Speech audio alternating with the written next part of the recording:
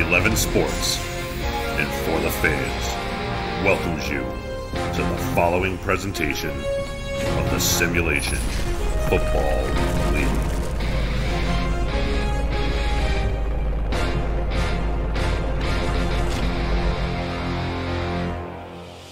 After 132 games across 12 weeks in season 15 of the Simulation Football League, we finally made it to the playoffs. Tonight, two of the league's longest tenured franchises enter the King's Lair in Jacksonville as they begin their quest for their first ever SFL championship. And good evening, everyone. Welcome to North Florida alongside producer extraordinaire Cameron Irvine, our statisticians Tom Rahman and Rochelle Colston, and my partner Mike Improda.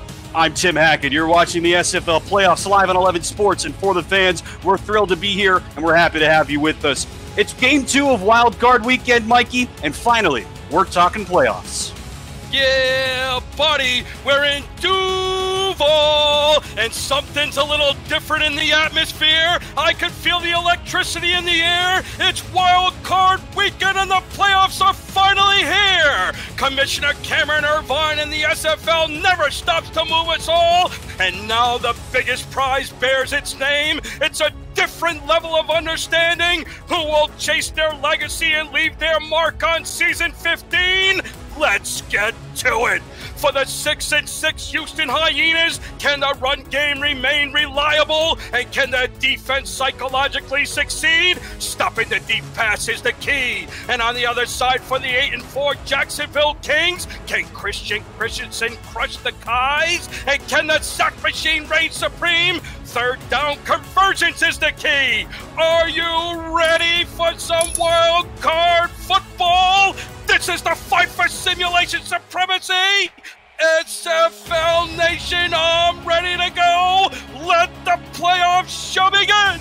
Number 11, Houston against number 6, Jacksonville. The home team will get the ball first, and we are underway in game two of Wild Card Weekend. Mike St. Green, the rookie kick returner, set to return on the kick from Nico Cappuccino, and he gets out to the 28 yard line. Mike, this Jacksonville team has been really solid all year. They were the first team out of the bye weeks, the teams that did not have to play this week. That'll start next weekend in the second round of the playoffs. The first team out, Houston on the other side, the last team in as the number 11 seed. They made it in as a 6 and 6 overall squad after they lost last week, had to get a couple of other results to fall their way but this is still one of the better teams in the league. Their defense, one of the best takeaway units in the SFL. Christian Christensen, the veteran quarterback, over the middle, and his first pass of the day is dropped, knocked away by Brady Clark somehow as he was looking for Trevor Swain.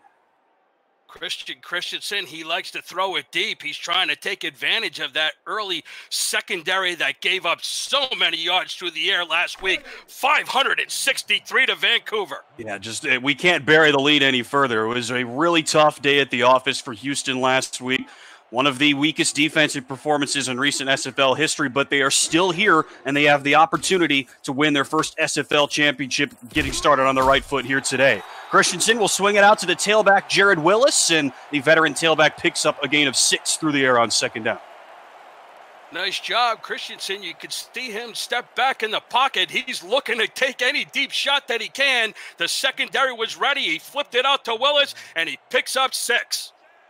Christensen now in his seventh season as the Jacksonville quarterback. Top wide receiver Ken Gossett has been his top target every single year. On third down, Christensen to the left seam. It's knocked away, incomplete. More good defense here from Houston. Grayson Willis, the number two wide receiver, is the target, and it's fourth down. Great job by the Houston Hyenas on defense in this first series. We know Damon Simeon's going to be pleased with that, and he gives his offense the time to come back on the field. Three and out for Jacksonville. And Houston's defense here forces a three and out, Mike, and obviously only three plays into the game, but two good pieces of defending on pass plays there for the Houston defense after they gave up over 500 yards of offense to Vancouver in that loss last week. Good early start for them defensively here. Kai Cash on the return for Houston, one of the best punt returners in the SFL. And the Hyenas and their strong offense will start off first and 10 from the 34 yard line. Can Kentez Johnson, the Houston quarterback, you get a look at him here, shake off the rust after last week? That's the question everybody's asking. We know about Warren Murray, their star running back, Mike, but if Kentez has a day anything looking like remotely like what he had last week, Houston's going to be in for another long day. The spotlight's on Warren Murray, but that's the big question everybody's asking. Can Kentez Johnson recover? Johnson will throw it here on first down, and the receiver's going the wrong way. It's Warren Murray, the star running back. Does not catch a lot of passes, Mike. He does almost all of his damage on the ground, and maybe you get a look at why. They lose five yards on their first play. Definitely not the start that Kentez and company are looking for. The first play goes for negative five. Uh, Murray, the fewest catches among all regular running backs, and also the fewest receiving yards, even though on the ground he was one of the very best in the league. Second down for Kentez Johnson. He's under pressure, throws over the middle. That's caught near the first down, and a nice pickup for D.R. Sim, the living legend. Great play by Kentez Johnson. He had the quick drop, the quick release. Now he's got him up to the Houston 44, third and inches. It's not been a very good season for Kentez Johnson, the fifth year man from Buffalo. He's in the bottom half of the league in almost every statistical category, towards the tail end of the league in a lot of those as well. But he looks to the Hall of Famer DR Sim for a big gain. On third down, they will go back on the ground, and Warren Murray is stopped for a loss of two. This Jacksonville front has been tremendous all year, Mike, and that's Charles Dunbar, their number two defensive tackle, that makes the stop and forces a fourth down. Charles Dunbar busts through the offensive line, makes a big play, and he stops Houston from gaining the yardage to gain, and they force the punt. And we talk about the Jacksonville defensive line stars. Charles Dunbar is not one of them, and he makes a big play. Oh, the Kings nearly blocked that punt coming from Brian Adams, and so Mike St. Green will call for and make a fair catch. Dueling punts here to start. No score in Jacksonville. This is the Simulation Football League wild card round on 11 Sports and for the fans.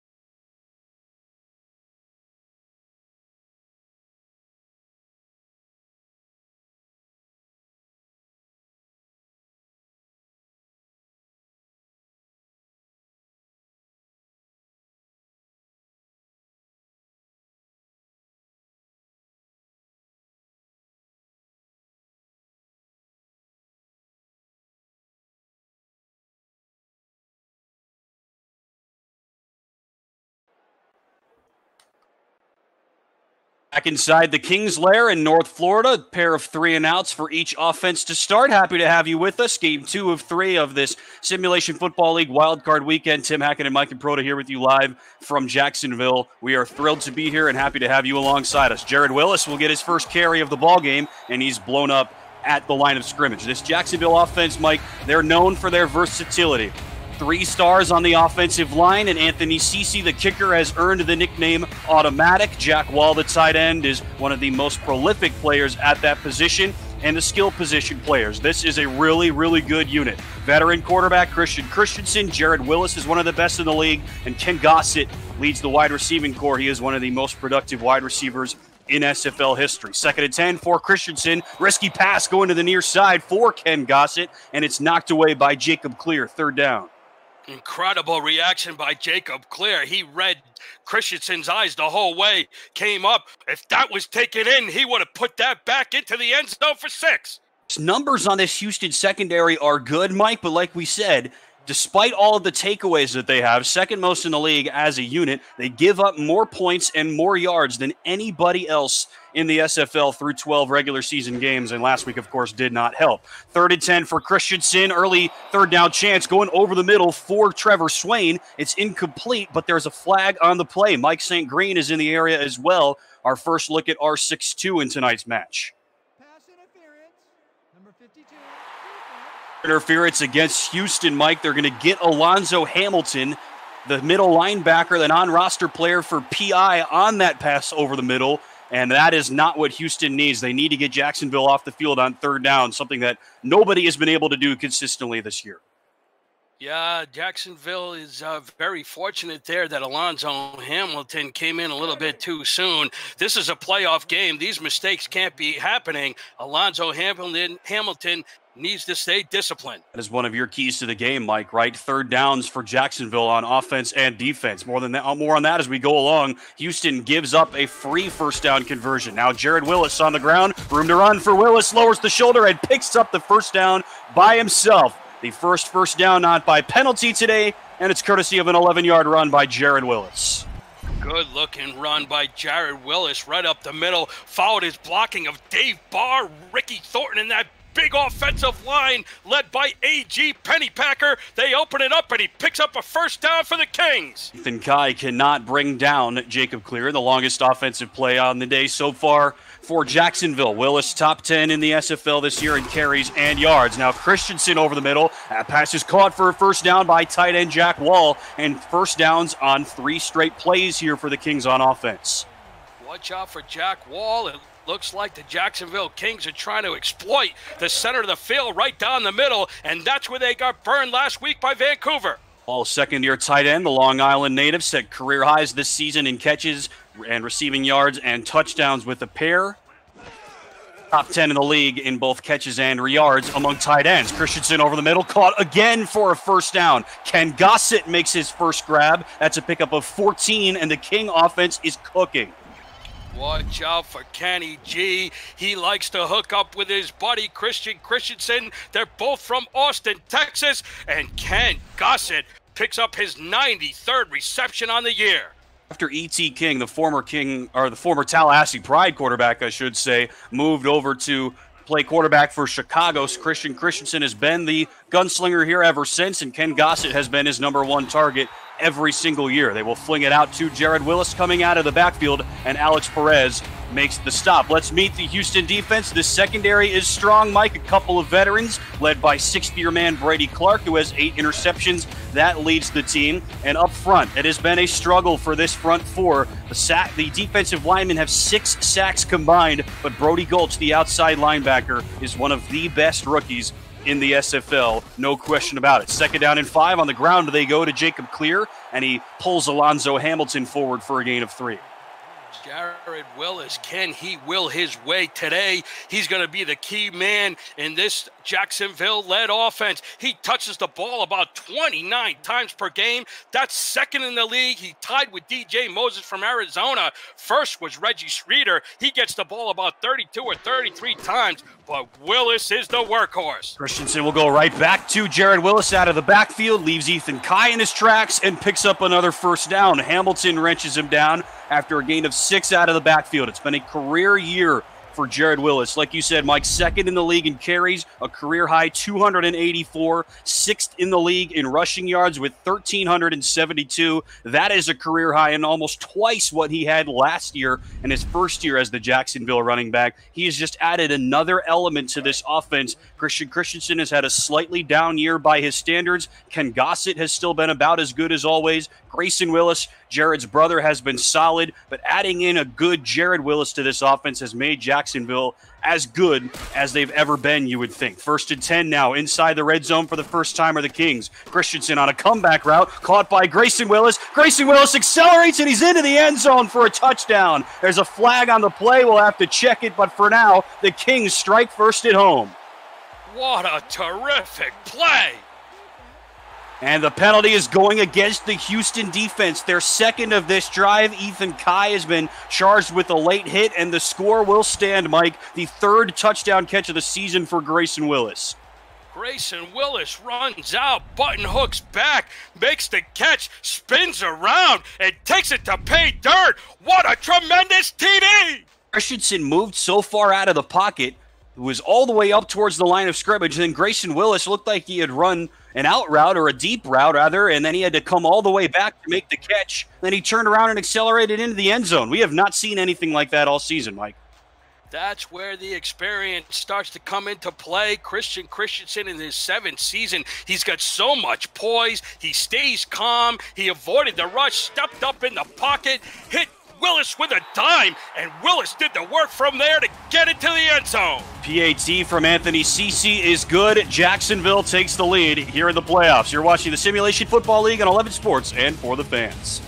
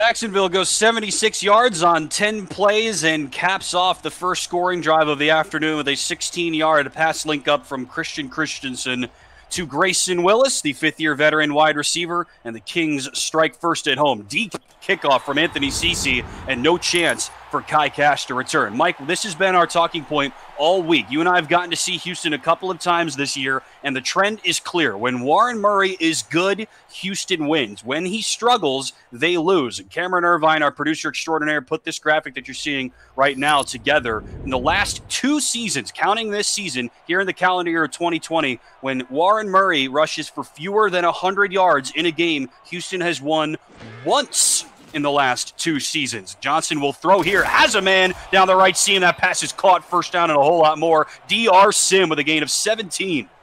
Good looking pass by Kentez Johnson. Stepped back in the pocket. You could see how the line protected him. He had all day long. Let Sim run across the middle of the field to the outside, and he puts it right on the money. Great catch by the doctor. Our statisticians telling me gain of 19, but same difference here for Houston. Their biggest play of the game as Kentez finds the man they call the doctor, the Hall of Famer now in his 11th season in the SFL and his 10th with Houston. It has not been a very good season for DR Sim, especially not by his standards. Now on first down, Johnson is under pressure and he goes down. This Jacksonville front, Mike, has been lethal all year, the best in the league, and Hunter Norwood has the first sack of the afternoon.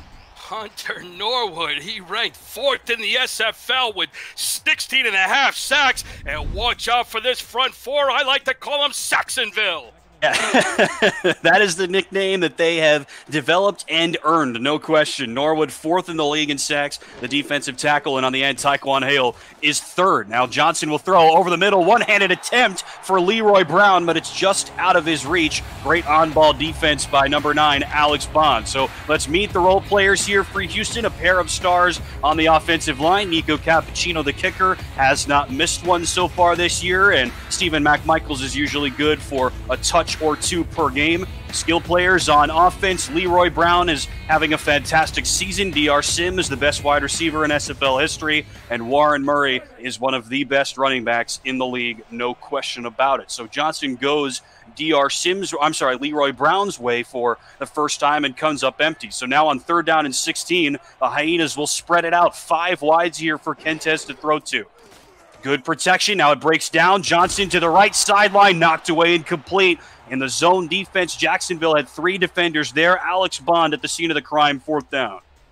Alex Bond, the strong safety, comes in, knocks that one down. He's out of Texarkana, Texas, and he makes a beautiful play to force the punt.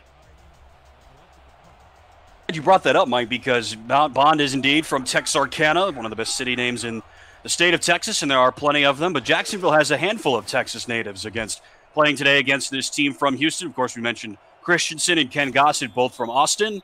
There are a couple of others across this lineup as well. Mike St. Green calls for and makes the fair catch inside his own 35. And Mike St. Green was third in the SFL this season in punt return average with better than 6.1 over the regular season, but not been able to show things off here so far. And so Jacksonville will take back over with a 7 0 lead.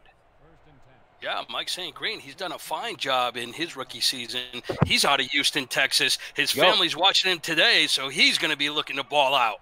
And the other member of this Jacksonville team that is from the great state of Texas. On first down, Jared Willis gets the carry, and he runs into Brody Gulch for gain of just two. Mike Brody Gulch, the fourth overall pick in the SFL draft this past year. There were some rumors during the draft, and you and I got to be a part of that, that he might go first overall. Our pal David Horrell ends up going first to Fort Worth, a very deserving pick, but Brody Gulch slips, if you will, here to fourth to Houston, and Demond Simeon has found himself a gem, one of the best rookies offensively or defensively this season in the SFL as Links up with Jared Willis, and Brody Gulch is there to escort him out after a gain of three. Brody Gulch, the Gooch out of Grand Rapids, Michigan. What an incredible rookie season he had, Tim. 127 tackles, that ranks seventh in the league. Best on the team, and also 10 TFLs, also best on the team. It's kind of surprising, Mike. We've said that this Jacksonville front is lethal. Most sacks in the league. Houston's defense, the opposite. Only eight sacks as a team by far the last in the SFL. That might need to change if the Hyenas have a chance. Christensen on third down, pass is caught. First down and more for Ken Gossett out to the 48, a gain of nine, and the Kings move the chains again.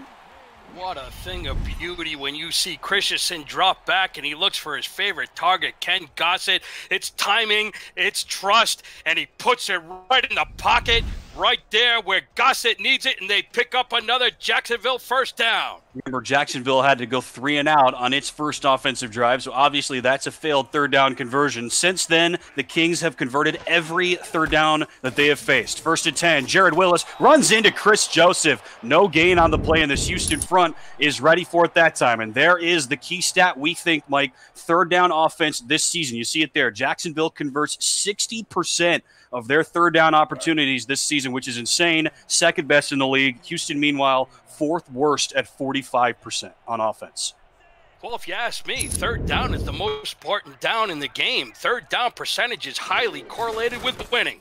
Question, and it is correlated into eight wins this season for Jacksonville as Jared Willis goes up the middle and picks up four. On the other side, though, Mike, Jacksonville's third down offense is tremendous, but their third down defense leaves a lot to be desired. They give up 57% third down conversion rate that is tied for the highest in the league. So if Houston can try to exploit that area of weakness on the Kings defense, that might be a Hyena's secret to success. Third down again, and this time the Hyena defense is up for the challenge. Alonzo Hamilton was there. Brody Gulch was there. Christensen's passing complete, and it's fourth down. Jackson, excuse me, Tim. Jacksonville's trying to exploit the middle of the field as we as we noted on the first three series. That time, Alonzo Hamilton makes up for the penalty. But back to third down. Third downs is so important. They're the most important down for both offensive and defenses because they both have the most to gain and lose. When you fail on third down, you usually force the punt. And then it get more importantly, it's because it gets the opportunity for for the opposing offense off the field, and it gets your offense back onto the field question about it. And this is great punt coverage by Jacksonville. They slide and stop the Hyenas inside the five. That's backup safety Ira Sharp on the play. He's their top gunner. He's made a number of plays on special teams for Jacksonville this season. Decent punt from Howard McCoy, and Houston is going to be way backed up. Good job by Houston. They start deep in their territory, but anytime you can get Jacksonville off the field and bring your offense onto the field, you'll take the ball anywhere it lands. The two back set, Kentez Johnson to give to Warren Murray. He stood up at the line, and he's, oh man, just barely kept out of the end zone. They'll spot Murray at the one. Forward progress keeps him out of the end zone. Dunbar, again, Mike, the number two defensive tackle, was there on the stop. This front four of the Jacksonville defense is so impressive. How did Warren, Murray make it out of the end zone? I have absolutely no idea. He looked dead to rights, no question. So they'll change up the formation, and Kentez Johnson now will change up the signals. Less than a minute to go in the first. They give to Murray. Space for Murray this time. And a nice run for Warren Murray up the middle. Picks up a couple. Ira Sharp again on the stop. One more game coming your way later on tonight at 6.30 Eastern, 5.30 Central. Lone Star at Florida. Florida in the 8 9 matchup of this SFL Wild Card weekend. It is also our crowd play game of the week with Jeff Melanishin and Eddie Gage right here on 11 Sports and for the fans. So here, as if on cue, Mike, is a third down opportunity for Houston against this Kings defense. They will play it safe, and they somehow pick it up. That play looked doomed from the start, but Brian Horrell shakes forward and picks up 10. Houston moves the sticks. Great effort by Brian Horrell to gain the yardage to pick up a new set of downs. As we mentioned, Houston Hyenas only picking up 45% on third minutes, down, quarter. which ranks 19th in the league, but somehow Horrell finds the way. Jacksonville gives up 57% on third down, highest in the league. Houston converts. We're done with one from the Lair. The home team on top, 7 to nothing. This is the Simulation Football League playoffs on 11 Sports and for the fans.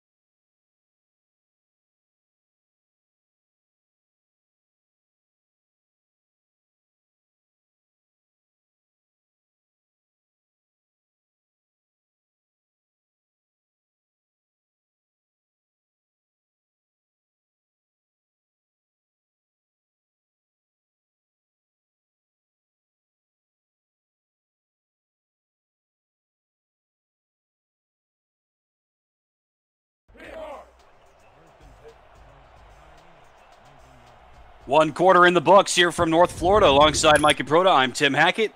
Rochelle Colston and Tom Rahman are alongside us doing the stats, and Cameron Irvine running the show like always. Happy to have you with us. First play of the second quarter for Kentez Johnson from under center in the split back set. Johnson deep ball right sideline looking for Leroy Brown, and it's knocked away. Good one on one coverage from Bernard Gooden, who missed the play on the last possession. Now, this front here for Jacksonville, the best in the league in terms of sacks. Taekwon Hale and Hunter Norwood, both top five in the league in total sacks. Clay Jones also among the league leaders in sacks as a linebacker. This defensive backfield very experienced. Alex Bond in his seventh season, Bernard Gooden in his fourth, and Michael Sprouse in his sixth, joining the sophomore Succo Lomano and the rookie Rain REA. So a lot of a good experience in this defensive backfield for Jacksonville. Everybody has played their entire careers with the Kings franchise. Second and 10 after the incomplete pass. Quick drop for Johnson. Has time. Throws right side, and it's picked off. What a play!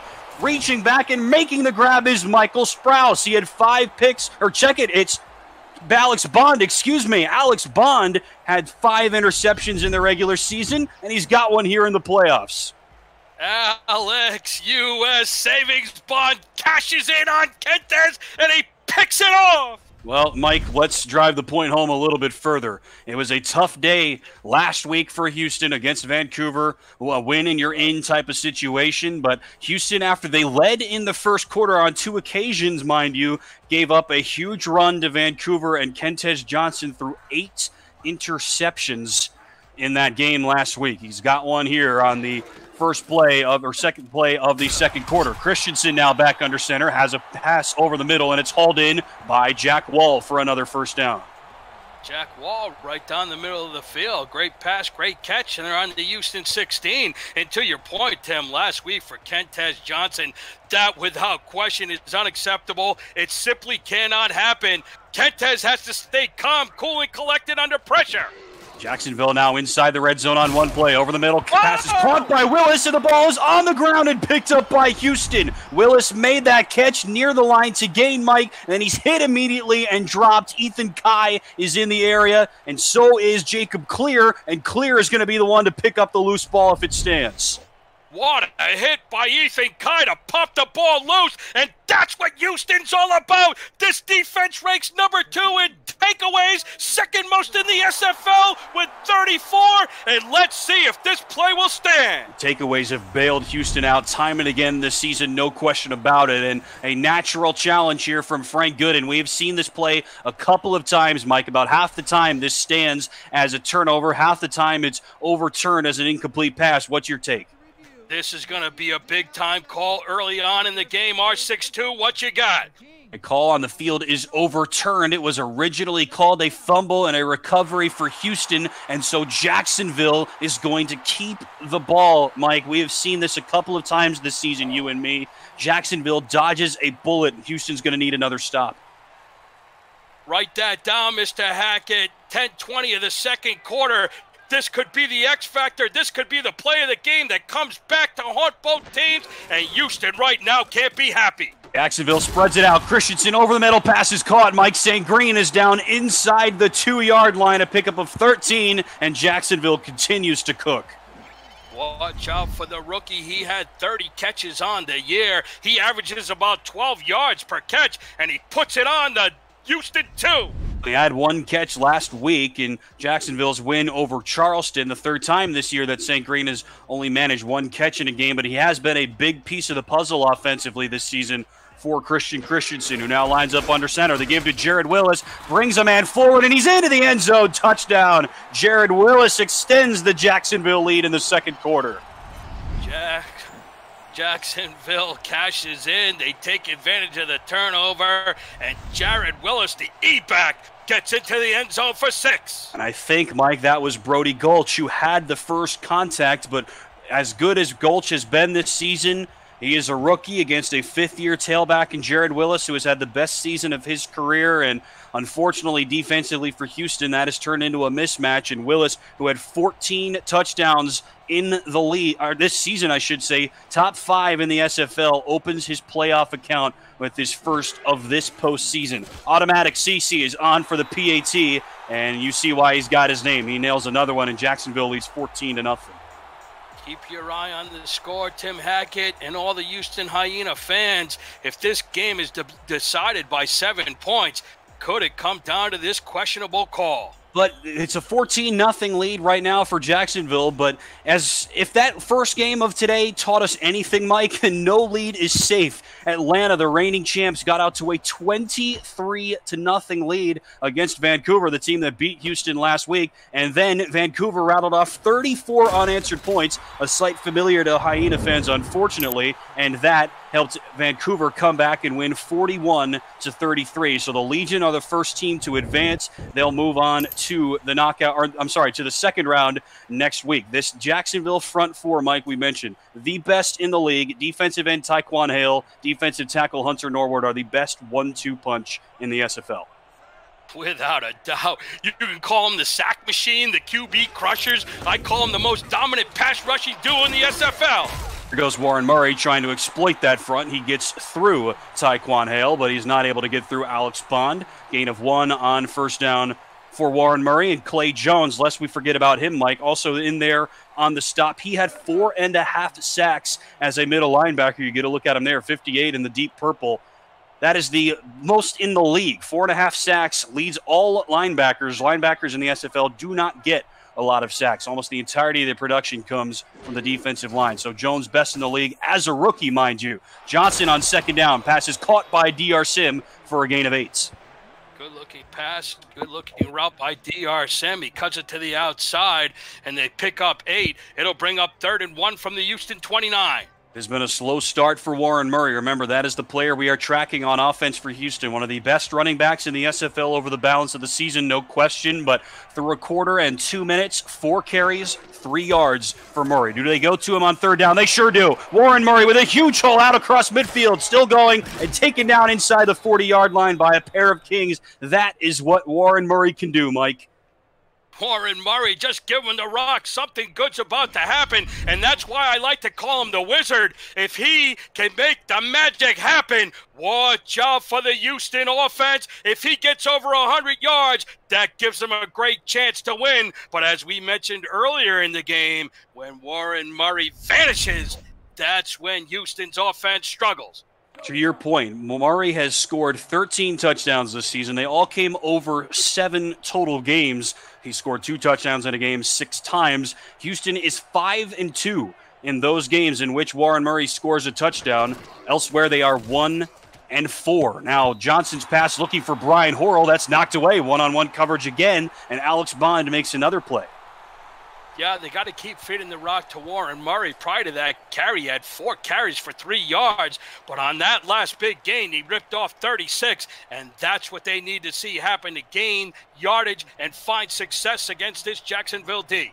Warren Murray is good. He is very good. And when he is very good, Houston wins. There is absolutely no doubt about that. Their key to success. Second and 10. Johnson will throw it again. Has a man wide open. Leroy Brown makes his first catch, and he's down at the 21.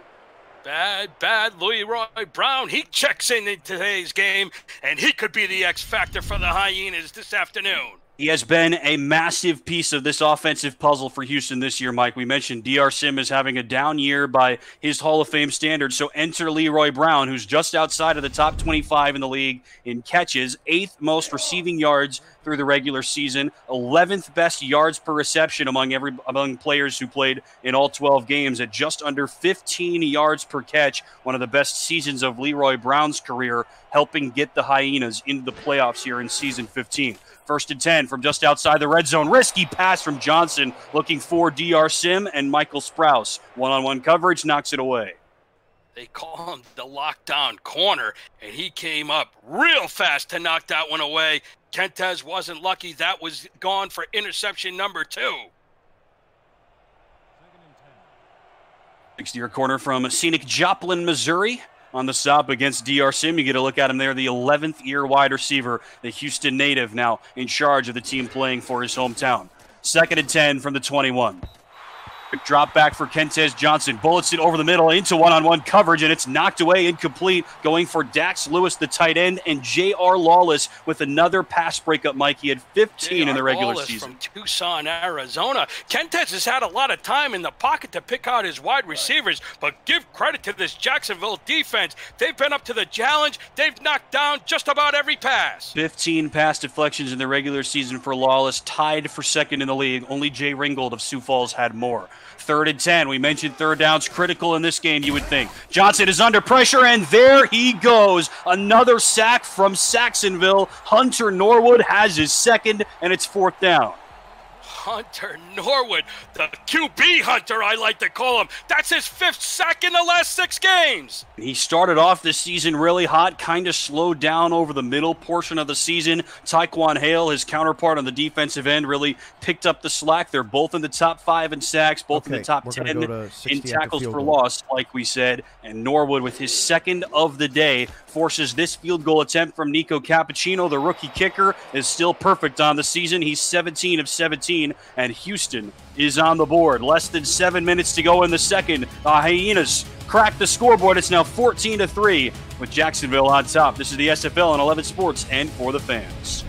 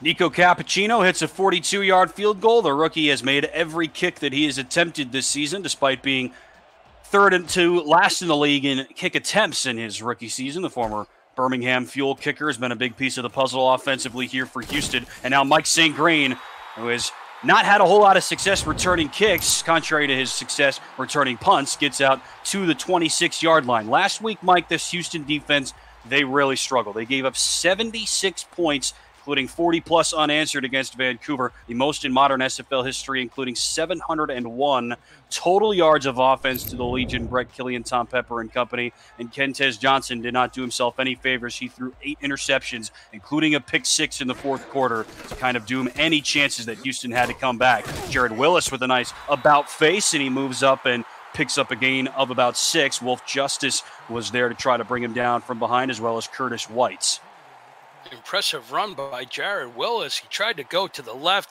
didn't find anything there, cut it back to the right, ran behind his big offensive line, the guard, and tackle Dave Barr and Ricky Thornton, and found a nice way to pick up five. As we said last week, Mike, and you and I were there in person to see that game for Houston against Vancouver. We figured that the Hyenas would still have a good shot to make it in the playoffs as Brody Gulch blows up Jared Willis at the line, give him a loss of one on second down, and that brings up another third down here for the Kings. But you and I said last week we figured the Hyenas would still be able to make it into the playoffs because of the balance of their season. That did indeed happen. They got a couple of results to fall their way, and now they're here against Jacksonville, the top, the highest ranked team in this wild card mat in this wild card round the sixth seed, and that has allowed Houston another chance to prolong their season even further. Fourth, third down, sorry, and St. Green's St. Green makes the catch on the pass from Christensen, but he's blown up a yard short of the sticks by Everett Garrison. The cornerback from Virginia Beach, Eric Garrison, has played nicely over the last two weeks, makes a big play, and nails St. Green a yard short of the first down. But he did come back and finish the game. And it's good to see him out there leading the pack as usual for the Hyenas. Here comes a punt from Howard McCoy. Kai Cash, one of the best punt returners in the league, wrenches up forward and picks up about four on the return. Mike, these two punt returners, we don't talk about the return game all that much in the SFL necessarily, but get this. I mean, Kai Cash was second in the SFL this regular season in punt return average at 8.2 yards per return. And Mike St. Green on the other side third in the SFL in punt return average, just better than six. They're two of only three players in the SFL with a punt return for a touchdown this season. Gabriel Manning is the other. Kentez Johnson now with the ball again. He'll check it down to Stephen McMichaels, and McMichaels is blown up for a one yard loss. Good job to throw it out to Stephen McMichaels. Thought he might have some room to run, but that defense reacted so quickly. McMichaels is taken down for negative yards. Rookie fullback from Dayton, Tennessee, spent last season as one of the, the starting running backs with the Ottawa Cavalry that made it all the way to the minor league championship game that you and I got to see, Mike. And McMichael scored a pair of touchdowns in that game in a losing effort. Second and 11, Johnson evades pressure, floats it, tipped, and picked off. Bond, Alex Bond, with another interception, his second of the game. Warren Murray on the tackle, and the Kings pick off Kentez again. This Jacksonville defense has come to play, but give credit to number 25, Michael Lockdown Sprouse, who read Kentez the whole way. He went up, tip drill, and Bond was there to pick off pass number two for interception. Jacksonville is on the Houston 37, looking to extend this lead. Watch out, Hyenas. Christensen will go back under center. Three wide receivers bunched down to the left and one to the top. Willis is the tailback. First and 10 inside the 40 yard line. Christensen floats it for Grayson Willis. He dives to try to make the catch, but it's just out of his reach. Second down. We mentioned those eight interceptions last week from Kentez Johnson. Like he was really middle of the pack in turnovers. Houston was really kind of nondescript in terms of offensive giveaways. But after last week, Johnson was up to 31 interceptions thrown in the regular season. That was tied for most among league quarterbacks. So it's just kind of crazy how much one poor game, one bad game in that case can really kind of torpedo how your season numbers look if you're Kentez Johnson and he's thrown two here in the first half here. Jared Willis with a stutter step. He's only able to pick up two. Alonzo Hamilton on the stop. Big hole for Jared Willis, but that closed quickly. Alonzo Hamilton in his middle line back in position, come up and made a nice hit. So that way he couldn't pick up any more. But yeah, Kentez really needs to quiet down. He needs to take care of the ball. I know that uh, the performance last Sunday is not what they expected. So Kentez Johnson really needs to take it easy, and they're going to start to have to run the ball with Murray if they want to not uh, have so many turnovers like the way things looked last week.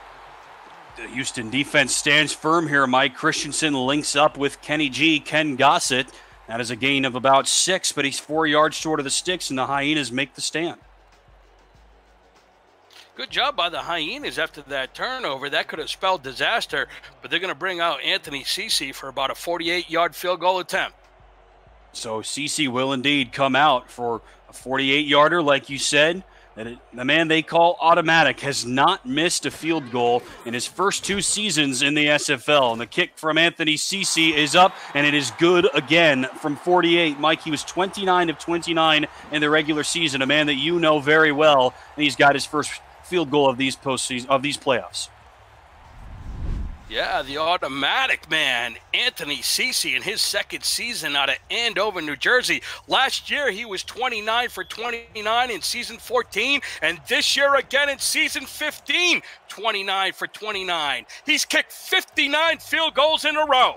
As uh, some impressive synchronicity, huh? 29 of 29 last year, 29 of 29 this year. Amazing how that works. Kai Cash on this return for Houston. He did not start the season returning kicks. Brian Horrell was given that honor for the first three weeks, did a decent job, but then Kai Cash has come in, and like we said, he's been one of the best punt returners in the SFL, even though his kick return average is not really that good. So now Houston down by 14 for the second time in this game. Mike, what is the prescription for success? 333 left until halftime. Do you still go to Warren Murray? Absolutely. You got to stay away from the turnovers. You can't have Kentez throw any more INTs.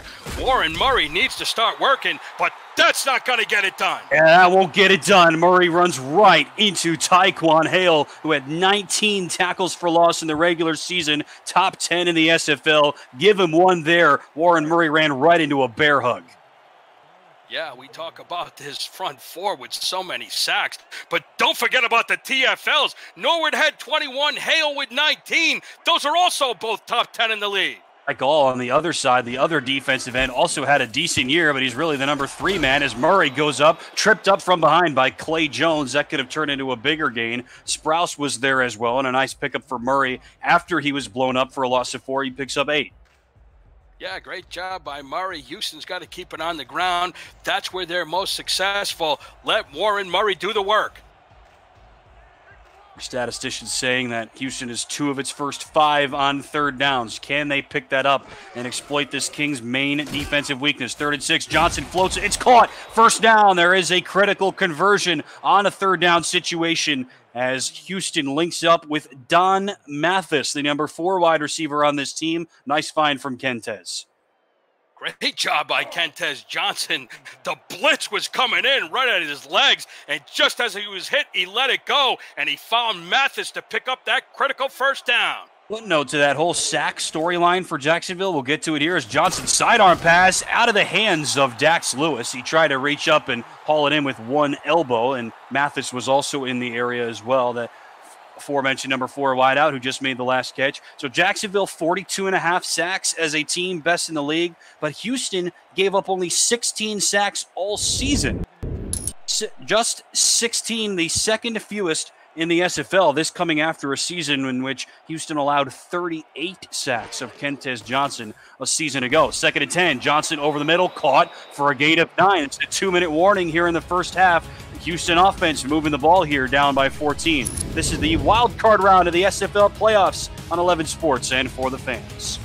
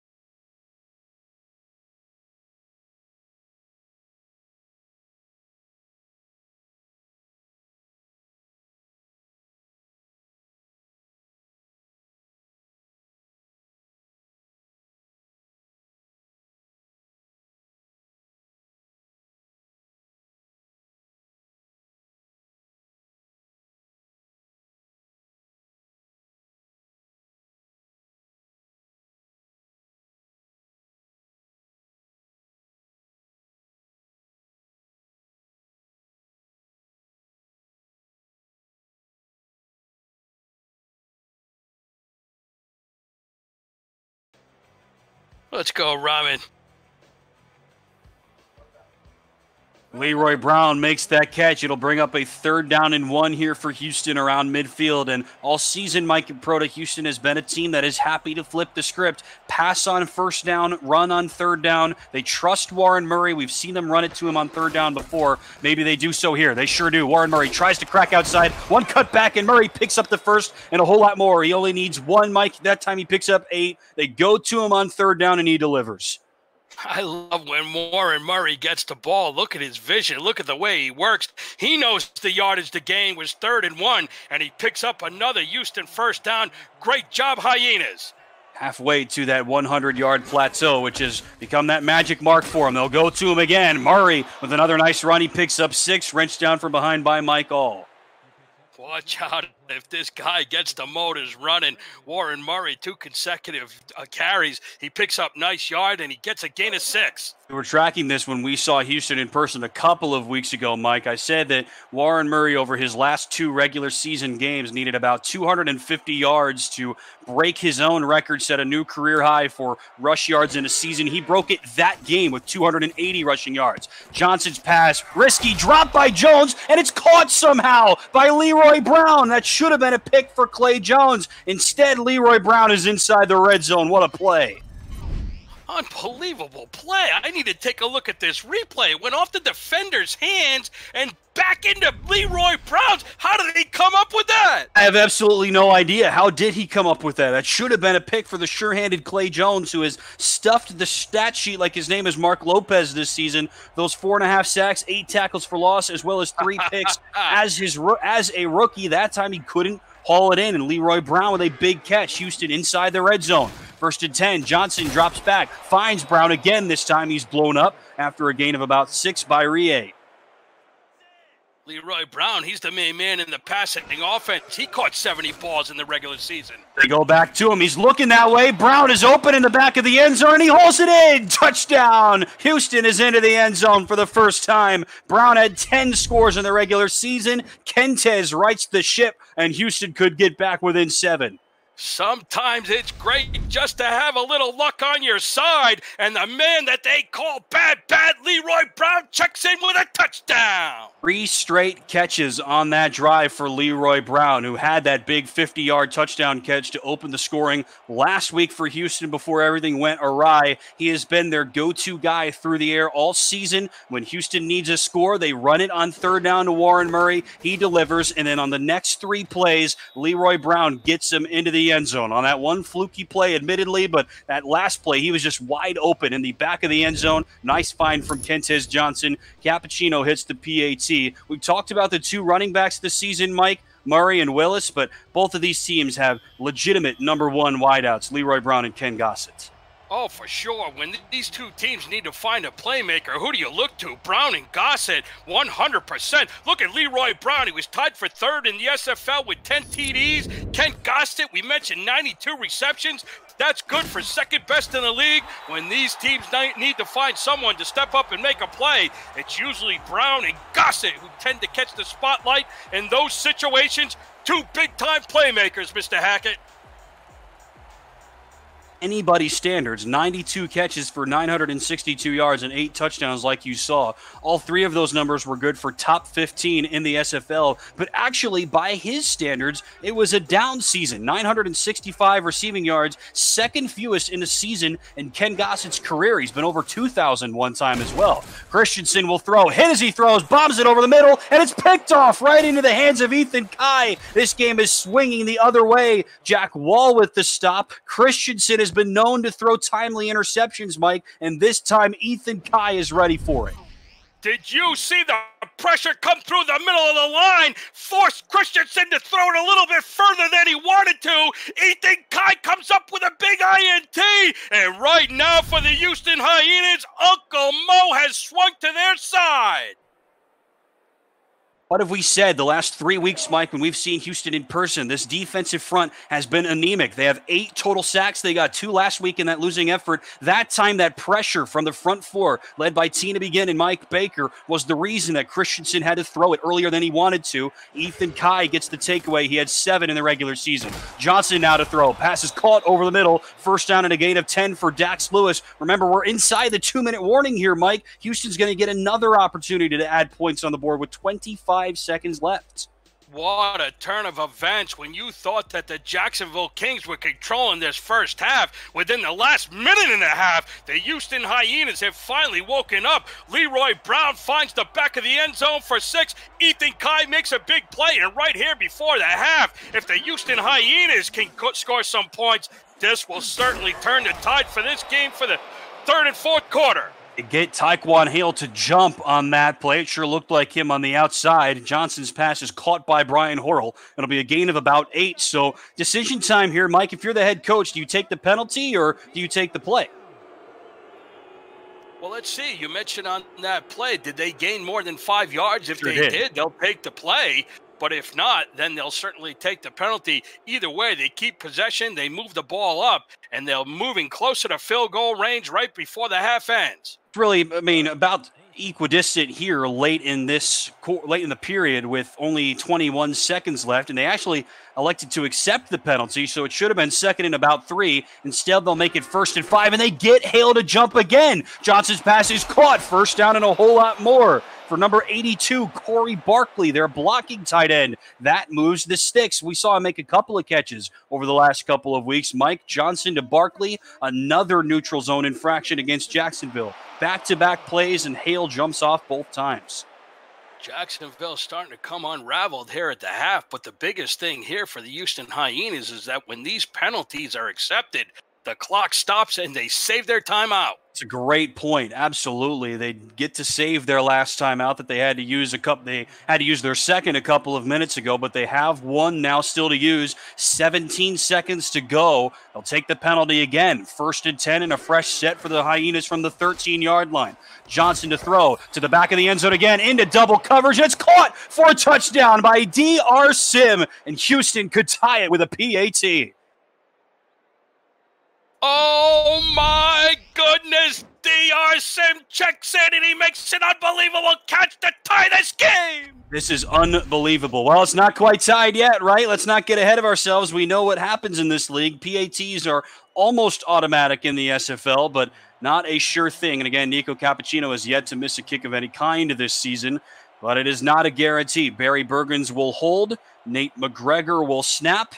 The rookie kicker from Tulsa, Oklahoma is on for the PAT. Houston has scored 13 straight points. They'll take their time and the kick from Cappuccino, make it 14 straight points. Hope you didn't give up on the game. If you're watching, Houston has come all the way back to tie it up.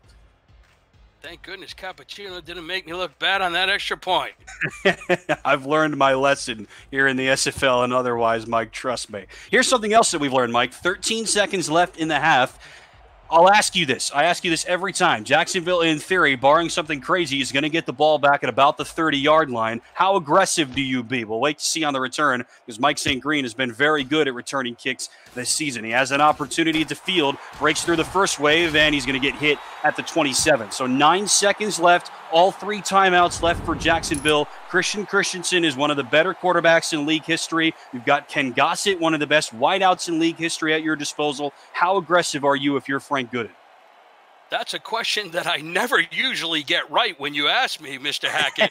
but if I'm the Jacksonville Kings with the last uh, two minutes, with the way things have happened, and Houston has scored 13 unanswered points, I kneel down. I try to take it into the locker room tied up, but it looks like the Kings are going to come out passing again. Going to go for it. Christensen, risky pass. It's picked off right over the middle with five wides. A risky decision from Christensen, and it's taken away by backup corner Curtis White. We'll have to check the marker. A face mask against Houston? Yes, incidental face mask against Brody Gulch. I have never seen that called in the SFL, Mike. This is our 13th game together, here in the major leagues. I have never seen a face mask called. They're going to get the rookie Brody Gulch, who might be the rookie of the year on defense for Houston. That's going to give Jacksonville a free 15 yards. Unbelievable the things we've seen here in the last two minutes of this first half. How can Jacksonville be so fortunate? They could have turned over the ball there. Maybe they would have brought out Cappuccino for a long 55 yarder, but they regained possession. Wow, is good and happy to see that. Four wide receivers now for Christensen. Hail, Fair, Hail Mary formation. Christensen deep bomb, and it's intercepted this time. That takeaway is going to stand for this Houston defense, which was as good at taking the ball away as anybody else in the league. Kai Cash Mike did not have an interception in this regular season. He gets one here. They foil the Hail Mary attempt, and we're going to go to the locker room tied at 17 apiece. We've got a ball game on our hands, and the playoff intensity is electric. Wow, back and forth we go. The first quarter was controlled by the Jacksonville Kings. You thought they might even run away with it, and Houston might have just had the uh, the hangover effect from last week's blowout in Vancouver. But in the second half, the Demond Simeon's crew has really come alive. Right now, it's points over off the turnovers that have been key.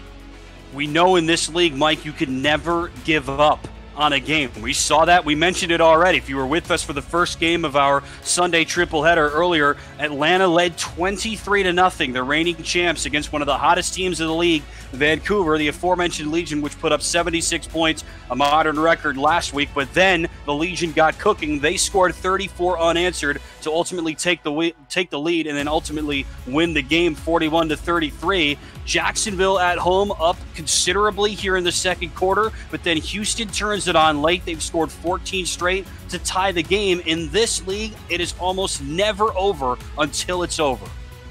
Yeah, without question, you got to play ball until the final whistle blows. These teams know losing, go home, survive, and advance. And look at the way the road team, the Houston Hyenas, have battled back to tie this game up. This is impressive. I can't wait for the second half. Obviously, we're in the playoffs now, Mike, so it's win or go home. But so if you lose, your season is over. But what's also interesting is that since this is the 6 versus 11 matchup, we know what the matchups next week would be. Vancouver has won the 7 I'm sorry, yes, the 7 seed defeating the 10 seed Atlanta Swarm. So the highest seeded team, meaning the team with the lowest number, we know where they would go. They're going to play Sioux Falls in the next round in the quarterfinals. The team with the lowest number seed, meaning the highest number, the lowest wildcard seed, will play number one seeded Denver in the next round. So since this is the six versus 11 matchup, we know who the winner will play. We just have no idea who the winner is. So if Houston pulls off the upset, and it would indeed be an upset against Jacksonville, they would play Denver on the road next week. And if Jacksonville wins here at home, they would play Sioux Falls next week in the three versus six matchup. Those would both be very interesting games, but your key to success, Mike, in this game has been Warren Murray. And let's check in on him after the first half after a very slow start. One run of 30 plus yards. You see one of those takeaways by Ethan Kai. He's halfway to that 100 yard plateau after one half of play. Warren Murray hasn't looked bad when he's touched the ball. He was slow to get it going in the first quarter, but he ripped off that long run that led to the touchdown. He's got nine carries and 55 yards, so he's right on pace to crack that century mark. But on the other side of the ball, Jared Willis hasn't been able to get it going. Only nine carries and 27 yards. He does have that crucial touchdown that gave Jacksonville the lead, but both teams need to protect the ball. Whoever wins the turnover battle in the second half, that's the team, in my opinion, that moves on to the second round. By the way, that touchdown for Jared Willis was the first in his postseason career. We're about ready to start the second half. The Hyenas will get the ball with a 17 all tie. Happy to have you with us. Tim Hackett and Mike Caprota here with you in the booth. Tom Rahman and Rochelle Colston doing the stats. Our friends joining us here on the show today, and Cameron Irvine, as always, running the show behind the scenes. One more game for you coming up later on tonight. Lone Star at Florida. Great kickoff here from Anthony Cece and no chance on the return for Kai Cash. So Houston will start from its own 20. They've scored 14 unanswered points to come back and tie this game. Mike, what do you expect them to do here to start? Do you have to go back on the ground and try to control things? I think so. I mean, especially when we started the game, we asked the question can the run game remain reliable? Can the defense psychologically succeed? Right now, both boxes are checked. Yes, get the ball to Warren Murray. First down. Will Kentez Johnson do that? He will. Prayers answered here, Mike. And Warren Murray has a lot of running room down the left sideline. One spin move and a big gain of 27 yards for Murray. Stopped at the end of it Look by Clay blocking. Jones. Look That at is the a way to start the Murray's speed takes him all the way around the outside for another big gain. Watch out for the wizard working his magic. And he is good. Houston is good. Like we said so far, Mike, in the seven games in which Warren Murray has scored a touchdown, he has gone over 100 yards and scored a touchdown in all seven games. In those other five games, he was under 100 yards and did not score. Kentez Johnson, great block against Hale. He'll check it down to Stephen McMichaels, and a nice pickup for McMichaels. Give him eight through the air, knocked out by Succo Lomano. Great job by the fullback. He knew he was going to get the ball, and he trucks over the, the quarterback for a nice eight yard gain. Stephen McMichaels out of Dayton, Tennessee. Averages about one and a half touches per game over the course of the regular season, which is about middle of the pack for SFL fullbacks. Jacksonville, of course, does not employ one. Kentez Johnson has a man over the right seam, but it's knocked away incomplete. I think he was looking for Leroy Brown, but Alex Bond, Mike, gets his hands on another pass. Alex Bond absolutely fantastic in the defensive oh. secondary today. Looked like he actually slipped. Was that Clay Jones? I think Sure that might have been Clay Jones. I thought he might have been slipped on the turf, but he recovered, got his fingers up, and was able to deflect that pass incomplete. A good call by you. Bond on the body and Clay Jones on the ball. Don Mathis, the number four wide receiver, was on the target. So give Clay Jones another pass deflection. He had nine in the regular season. I mentioned he was a real stat sheet stuffer. One of my favorite middle linebackers to watch in the minor leagues. He's turned that into an amazing rookie season as the Jacksonville middle linebacker. Here goes Corey Barkley again, Mike. Needed two to move the chains. He picks up three. Houston will take that. Corey Barkley doesn't get targeted a lot, but when he does, he makes the play look very, very easy. He picks up the first down, and the Houston Hyenas look like they've been energized out of this second half. And wow, the Houston Hyenas, watch out. Kentez is starting to get comfortable. He has really started to right the ship after a really rocky first quarter and a half or so. Here goes Warren Murray, who is also starting to pick up steam, but not that time. That's a way to let the air out of the tires. Clay Jones with the hit for a loss of one. He has been big today. This is the 10th all time meeting between these two franchises, Mike. Of course, Jacksonville used to be called the Tallahassee Pride. This is their second season now here at the north part of the state of Florida, and this is now the sixth season in a row that these two teams have met in either the regular season or the playoffs. They did not meet in the regular season here in season 15.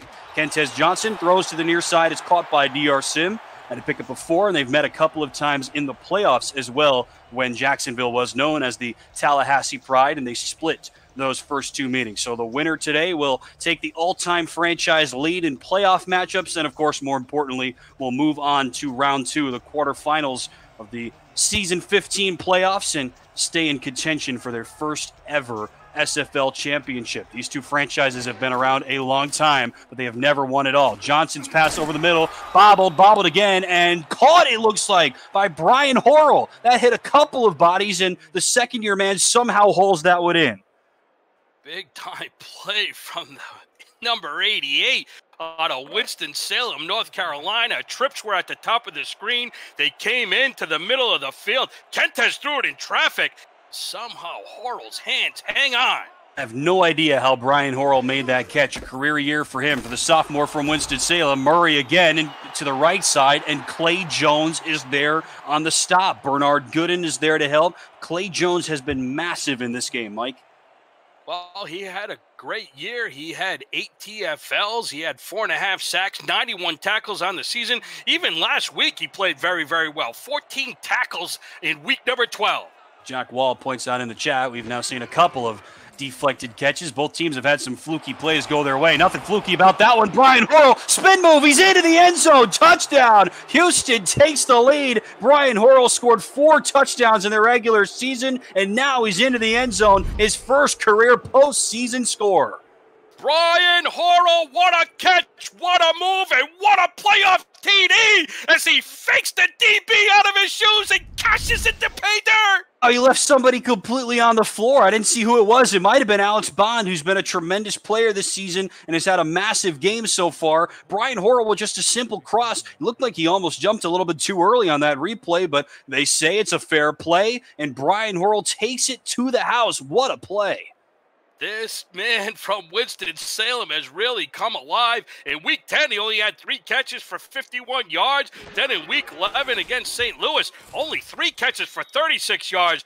But today, every time he's been targeted, he's been tremendous. Mentioned the Horrell family on this broadcast before, and Simulation Football League fans will have gotten to know the name by now. David Horrell, we mentioned the number one overall pick in the most recent SFL draft going into this season. I call him the patriarch. and His wife, KT Horrell, the matriarch, also a linebacker here in the SFL. Two friends of the programs, but Brian Horrell really is the founding father, if you will. He was the first member of the Horrell family in the SFL. It is his second season here in the major leagues. Everybody else spent last season in the minors. Now almost everybody is in the major leagues at some point or another. The key to success this season, Mike, has been the balance on offense. Jared Willis has had a career season as the running back. Ken Gossett has had a down year by his standards, but a great year by anybody else's standards. Christian Christensen, the gunslinger, leads the pack. They're top 12, as you see, in just about every important offensive category. And as we said earlier, they're lethal on third downs. This is just a really, really good offense.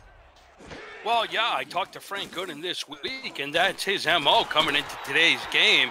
He loves the chess match that these games present, but their main focus in the playoffs is balance, balance, balance. When they have bo- a balance on both sides of the ball, it's not going to really uh, uh, amount to uh, big time statistics or an exciting brand of, of football, but he certainly likes the results. And most times when they have balance, the result is a W. I like how this team is constructed, Mike, and you and I have talked about this all season. I don't think Jacksonville can be considered an under the radar team by any stretch. They've been good all year, but I think they're equipped to succeed in this league as Christensen's pass for Jack Wall is knocked away. That'll bring up third down. Alonzo Hamilton is played well here after a poor first quarter, but you just add in all of those pieces that you just mentioned that Frank Gooden talked about. A true number one wide receiver in Ken Gossett, a really, really good number two wide receiver in Grayson Willis, a legitimate feature back in Jared Willis, a good tight end in Jack Wall, and a quarterback that has seen uh, been there, done that in Christian Christensen. There aren't too many other teams that are well equipped on all phases of the offense like Jacksonville is, but that has been a re- issue for them all season. Christensen with another risky pass, and it's right into the hands of Jacob Clear. He should have had a takeaway earlier. That was negated. This time he's got a pick, and Jacksonville falls even further behind. Well, it's been quite clear to me that Christian Christensen has lost his composure, and what a big time INT by Jacob Clear. Had four takeaways in the regular season. Last year's first round pick from Demond Simeon in this Houston defense. The second year man from Canberra, Australia, with a massive play. Houston has scored 21 straight points, and they will start with the ball right on the midfield stripe. Kentez Johnson has all day, bullets it over the middle, looking for DR Sim, and it's caught by DR Sim through three defenders. DR Sim with a gain of 16. DR Sim, he's got the reliable hands. But let's talk about the way Kentez Johnson has come alive here in the second half. He's looked cool. He's looked comfortable. He's got to be able to loosen up and let his instincts take over. And right now, he's the hottest man on the field. Full, calm, collected Kentez Johnson, a gain of 16 through the air for the Hall of Famer DR Sim. Houston is on an absolute roll. No laughing matter for the Hyenas. Warren Murray trying to break out of a tackle, and he does so somehow, drags Michael Sprouse. They're going to say somehow that his forward progress was stopped for a loss of one. It looked like he got to the line, but either way, that should have been a loss of five, and Murray turns it into a loss of just one. Yeah, loss of five. I could not agree more. How did Warren Murray get out of the backfield and only lose one yard? That's the power and the strength of this workhorse running back. He's been great all season, like we said, and a slow start for him. He has really started to shake that off. He's over 80 yards rushing. We'll go back to him again. Spins out of the first hit. Now he's going the wrong way. This Jacksonville front was ready for that one. Sprouse had an early hit, and J.R. Lawless cleans him up. It'll be a loss of about two. J.R. Lawless, he had eight tackles for loss on the season, but you could see the Jacksonville Kings defense sell out on the run. They called the run blitz, and it was the perfect play call. Third down and 12 on the fringes of field goal range. Too far right now for Nico Cappuccino, you would think. Johnson to the top of the screen. Pass is caught by Leroy Brown, and he's going to be pushed out of bounds, short of the sticks by Rain Rie. That makes it a little bit easier, Mike. You're inside the 30. You kick it here now, right? Oh, absolutely. I like the play by the Houston Hyenas. Kentez, he was under control. He didn't want to throw uh, an interception deep or take any chances. He's playing with a seven point lead right now here on the road. He gets the ball out to his receiver and makes it a little bit easier for his field goal kicker. He's coming up with a 46 yard field goal attempt. I like what the Hyenas did. Johnson finds Leroy Brown, their number one wideout this season, to get them close. Nico Cappuccino is on for the field goal, and he knocks it through. He made every kick in the regular season, and the rookie delivers again 24 straight points for the Hyenas, and they now lead by 10. Six minutes left in the third. Houston on top on the road. You're watching the wild card round of the Simulation Football League playoffs on 11 Sports and for the fans. Don't go anywhere.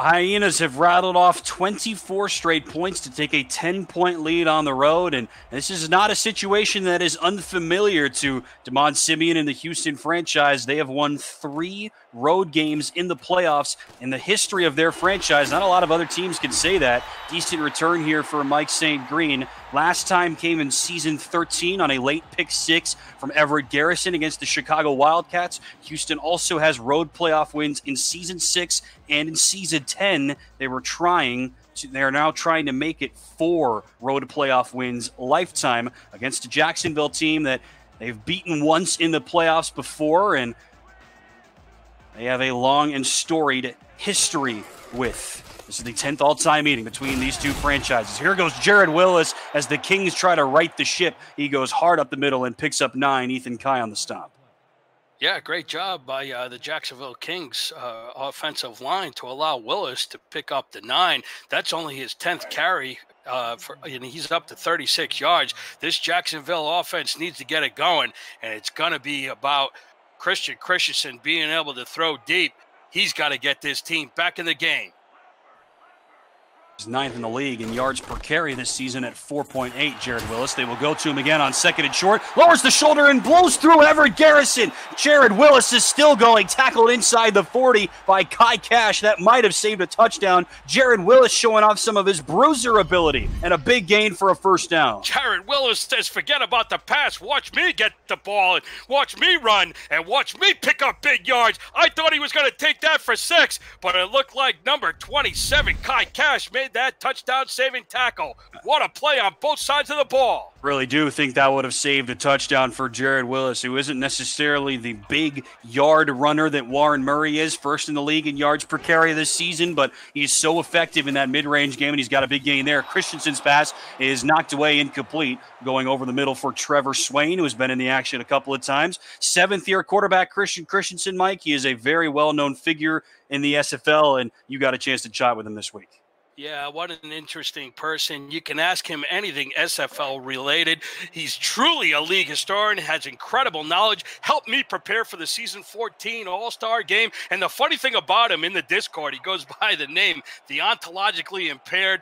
But Christian Christensen, in my book, he's the real deal. He's incredibly intelligent, he's an extraordinary person. Another one of my SFL buddies, world class from Texas A&M. Gig him. That was not a word that I have ever heard before. An SAT word there from Christian Christensen. And there's a look at that uh, intelligence that you were just speaking to, Mike. A nice pass somehow feathers it into Ken Gossett. He stopped half a yard short of the sticks. Well, he better not be ontologically impaired if Yeah, he no wants kidding. to bring this Jacksonville King back in this game. He's got to pick it up with the pass and avoid the INTs. Those two have been doing it together for a long time. They will go to Jared Willis, a fairly new member of this offense. He breaks through the first rain, the first line, and Jared Willis to the races, and he's stopped at the five for the second time this possession. Kai Cash saves a touchdown, but another pickup on the ground for Jared Willis, and Jacksonville is down inside the five. Watch Jared Willis. Wow, he comes in. He just bowls over Brady Clark with that powerful strength. Wow, what a great, powerful run by Willis to get it down to the Houston 5. Jacksonville has to get into the end zone to keep this game close. That play was Clark on the deck. Two plays ago, it was Garrison on the deck. Do they go back to Jared Willis here? 3.33 left in the third. Christensen will throw. Has a man wide open over the middle. Ken Gossett is into the end zone. The Kings stop the bleeding. These longtime teammates link up again, and this could be a three point game again. Christian Christensen and Jared Willis get all the credit on that drive. Look at the way they moved the Kings down the field, and Christian Christensen finds Gossett in the back of the end zone. That's exactly what the Kings needed. Were two back judges there, Mike. They were the closest defenders to Ken Gossett on that play. That was crazy. Nobody else was anywhere near Ken Gossett. It looked like they were playing in Tallahassee. I think Houston might have stalled on the run. They saw Willis in the backfield and thought he might get the carry, but Christensen audibled perfectly and found Gossett for six. He Cece on for the PAT and he knocks it through. That stops stops a run of 24 straight points scored by the Hyenas. You said Jacksonville needed those points there. Ken Gossett delivers. He scored eight touchdowns in the regular season. He's now got 12 career postseason touchdowns in this his seventh season. He's good for about 100 yards uh, a, a game in the playoffs or thereabouts, and he has just been such a lethal part of this Jacksonville offense his whole career, one of the best in league history, and he's nowhere close to done. Kai Cash tries to get outside on the return, and what a stop! Houston's going to start inside their own 10. Nice tackle made by Danny Atkins, the reserve outside linebacker. Let's see how the Houston Hyenas react. What a ball game we have here late in the third. This is just what we expected, Mike. Jacksonville, the favored team, no question about it. You see the line at the bottom of the screen, favored by the folks at Jack's Data by about seven and a half, but favored by our community as well. But they're trailing now here for the first time. They pull within three. Johnson's pass is caught by Warren Murray, and he picks up three right on cue. There is the community poll, Mike. This is the most lopsided in terms of fan consensus of the three matchups on this wild card weekend. Perhaps to be expected because of how things went last week for Houston, and since this is the six versus eleven matchup in comparison to the eight versus nine matchup that's coming up later on tonight. So our fan community heavily favored Jacksonville. The line significantly favors Jacksonville, but the score right now favors Houston. Warren Murray shuffles forward and picks up six. Warren Murray, this guy is just willing it to happen. Should have been stopped for maybe a gain of uh, one or two, but he keeps the legs turning, refuses to go down, and it brings up a third and one. Murray was over 200 yards in a game four times this season, including three times in a row en route to a new career high in total rushing yards. Here he goes again. They go to him on three straight plays, and he picks up the first down. Alex Bond on the stop. What a great block to open up that hole by Stephen McMichaels. Watch as he lines up. He hits the linebacker to create the hole, and Warren Murray allows himself to follow behind and pick up five for the first down. Good call by you, Mike. We should know that you should all, you're always looking out for the fullback. He stands up Clay Jones one on one, rookie on rookie, paving the way for a six yard gain and a first down for Warren Murray. Houston has been decent so far on third downs. We mentioned that might be the key to success. Warren Murray is finally starting to get going, though he has not found the end zone yet. They will go back to him again. He picks up two, and then he's ridden down. Big hit at the end of the play by Taekwon Hale. Well, right now, the Houston Hyenas are winning the turnover battle and they're winning that critical third down battle. They've picked up seven third down conversions on 11 attempts. That's a little over 63%. While the Jacksonville Kings, who really excel in that statistic, have only been three for eight at a dismal 37%.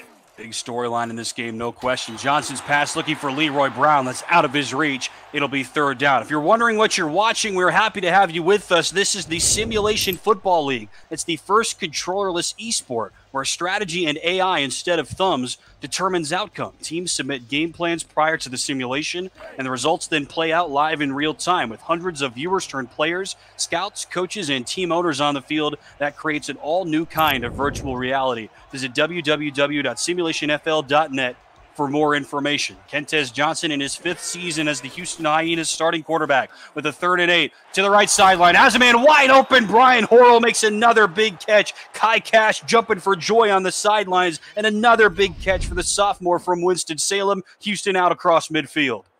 Everybody focuses on Warren Murray. Everybody clamps down on Leroy Brown and DR Sim. But don't forget about the man in his second season who scored a big time touchdown Brian Horrell, he's come up with big play after big play here in the second half. To your point, Mike, Leroy Brown is the number two wide receiver at the top of the screen. Bernard Gooden was shadowing him, and that left Alex Bond as the only man on Horrell. They exploited it. Now Johnson's looking for Leroy Brown, and it's picked off. J.R. Lawless was shadowing Leroy Brown that time, and the linebacker, who had only two picks in the regular season, stops Kentez Johnson on that one, and a huge takeaway for this King defense. J.R. Lawless comes up timely. He's from Tucson, Arizona, and he picks up the takeaway. Third interception today thrown by Kentez Johnson. Christian Christensen has also thrown three interceptions. We mentioned this Hyena defense, one of the best in the league at takeaways. That's not really been Jacksonville's strength, despite the experience here in this secondary, this five man unit that we highlighted earlier. But J.R. Lawless for two interceptions in the regular season might help Jacksonville turn the tide. Christensen's pass is caught by Grayson Willis, his fourth catch of the ball game. That's a gain of seven we came out of the half, you asked me what the difference might be here in quarter number three and number four.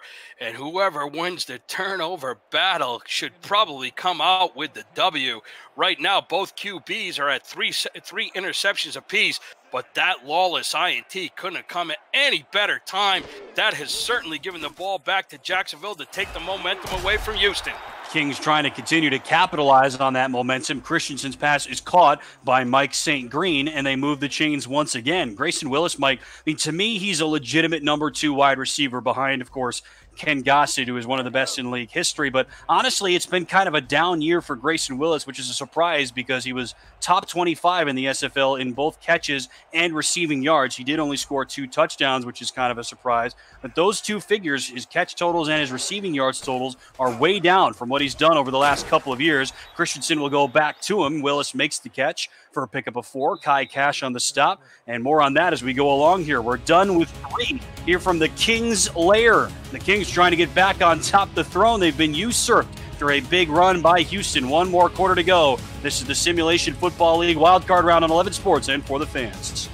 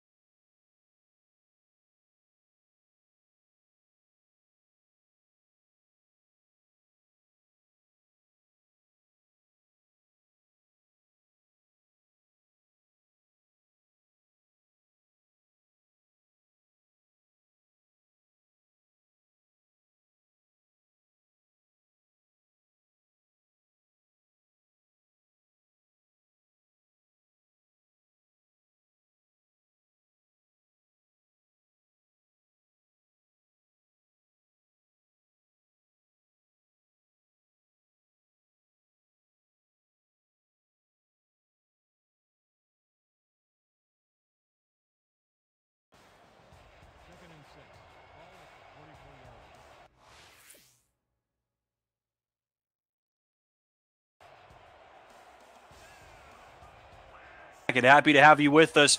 Game two of three of this Sunday SFL triple header wild card round action. Second and six. Jared Willis on the carry. Lowers the shoulder and moves the sticks. Bowls through Everett Garrison, and Jared Willis is off to the races. Down the sideline. Gulch is the only man that can stop him, and Brody Gulch will stop him at the seven yard line. Another bruising run for the fifth year man from Buffalo, and Willis gets Jacksonville inside the 10. Big time players come up in big time situations, and look at Willis plow over the linebacker to take it inside the Houston five, and a great play by Brody the Gooch Gulch to save that from going the distance. Probably should have been a touchdown for Jared Willis, like we said earlier, but Brody Gulch with an incredible play coming out of nowhere to make the stop. There were two other hyenas that were rallying to the charge, but now Jared Willis over 135 rushing yards here today. Did not have a single playoff touchdown coming into action today. He's got one, and he's got the Kings on the doorstep, down by three, just underway in the fourth quarter. Two tight ends. The give to Willis breaks through the first wave again, and Willis picks up three. Gets through the tackle of Tina Begin, but Kai Cash is there to bring him down at the four. Houston, Mike, we mentioned it has been a Jekyll and Hyde season, as Cameron Irvine called it, for the Hyenas on offense. You see it here. When they score, they win. They go they live and die by their offense. Put it another way, when they score 40 points in a game, they are 5 and 0. When they score fewer than 30 points in a game, they are 0 and 5. Here goes Jared Willis trying to get the Kings back on top, and he stopped 2 yards short of pay dirt by Alonzo Hamilton. Well, this right here is going to be the eye opener if Jacksonville could get into the end zone and take the lead. Can Houston come up big on this third down play right now? This is the biggest moment in the game.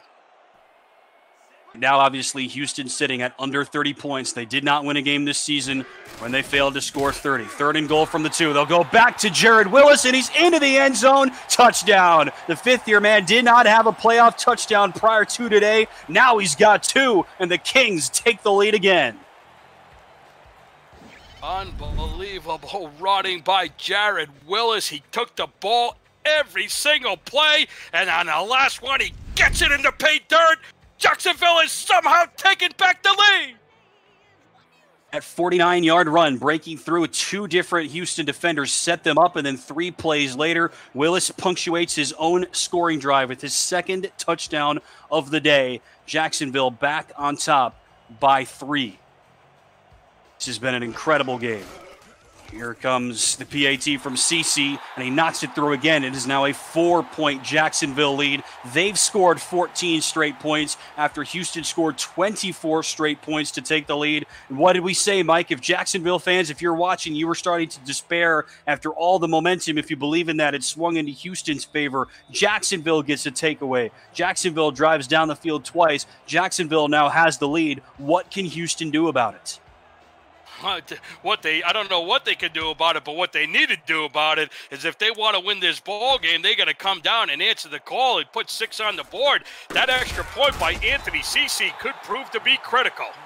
Kai Cash will get out to the 25 yard line. If Jacksonville wins, they will face Sioux Falls in the next round of the playoffs coming up next weekend. Dates and times all yet to be announced. If Houston wins, they will play the number one seed Denver on the road in the playoffs next weekend. Vancouver already won earlier today. The number seven seeded Legion are moving on. The 8 9 matchup, Lone Star at Florida, is on tap next, starting off at the bottom of the hour, 6.30 Eastern, 5.30 Central. Warren Murray tries to crack outside, and Taekwon Hale blows him up. It's a loss of three.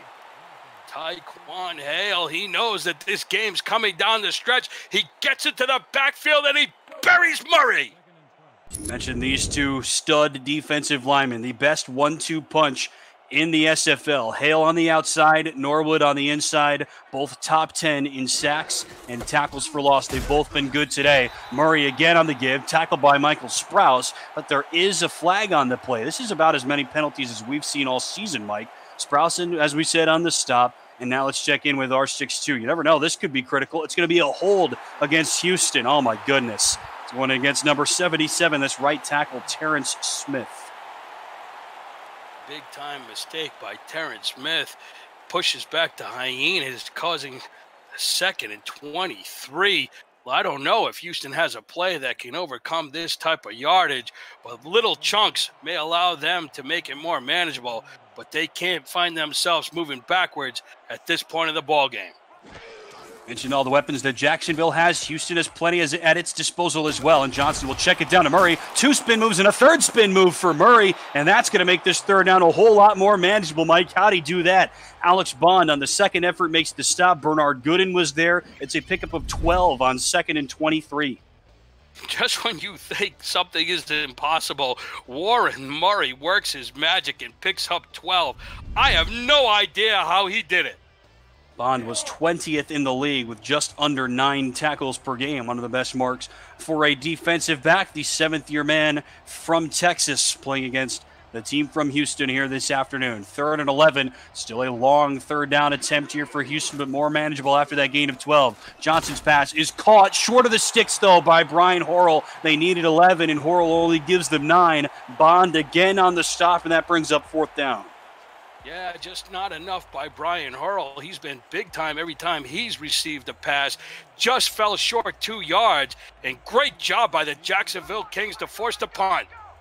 A great year it's been for Horrell. 35 catches for 481 yards and four touchdowns coming into today. Obviously, through the regular season, that is loads better than the numbers he put up in his rookie season. As St. Green slips one tackle and then he's blown up. Horrell had only 16 catches last season. So Houston back on defense, Mike, and that gives us a chance to talk about your pal Tina Begin.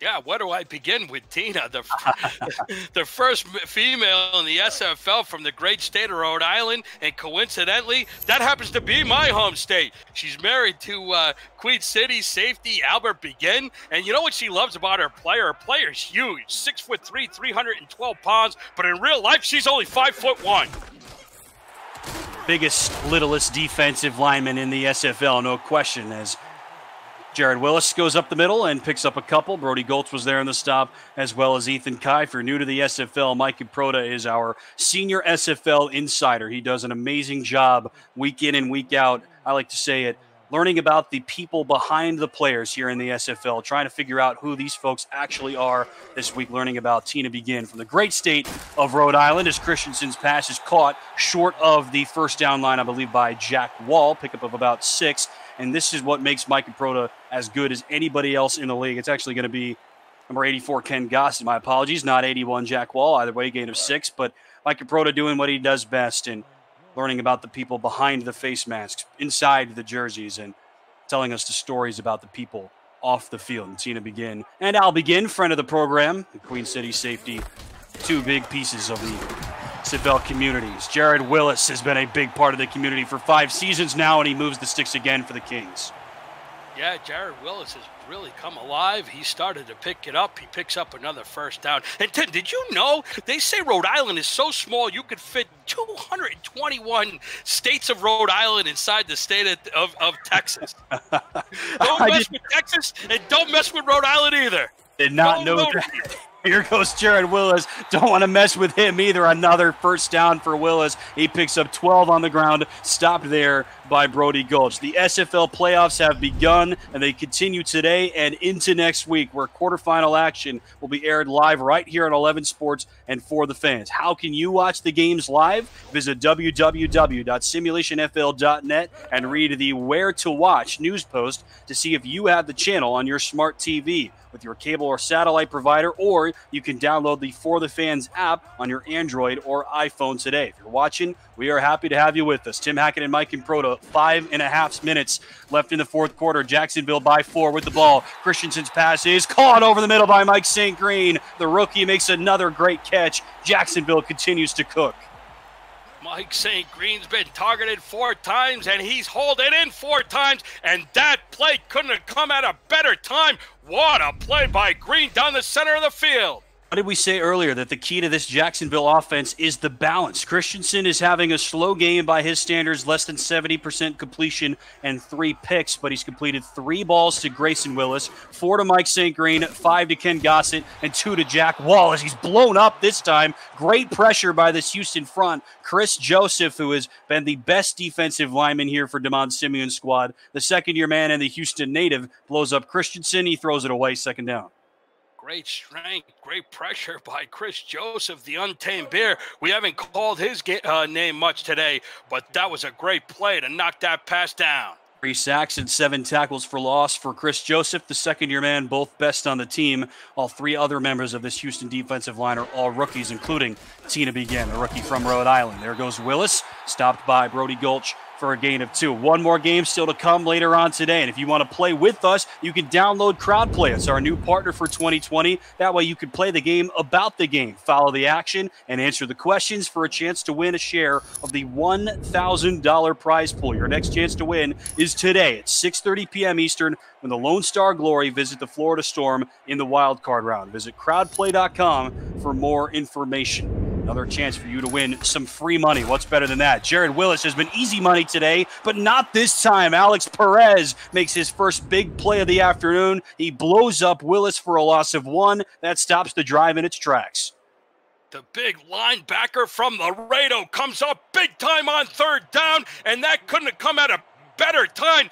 This will be an attempt by Anthony Cece, but to stop him here, Houston gets the ball back, and they're still within a one score game. Right, you are, Mike. If Cece makes this, it will still only be a seven point game with less than four to go. The man that they call automatic is on for his second field goal attempt of the ball game. The hold from the backup quarterback and the snap from Gus Lucas and the kick from Cece is up and good from 41. He is still perfect in his first two SFL seasons. Jacksonville on top by seven. Four minutes left in the fourth. Don't go anywhere. We've got a ball game on our hands. This is the SFL on 11 Sports and for the fans.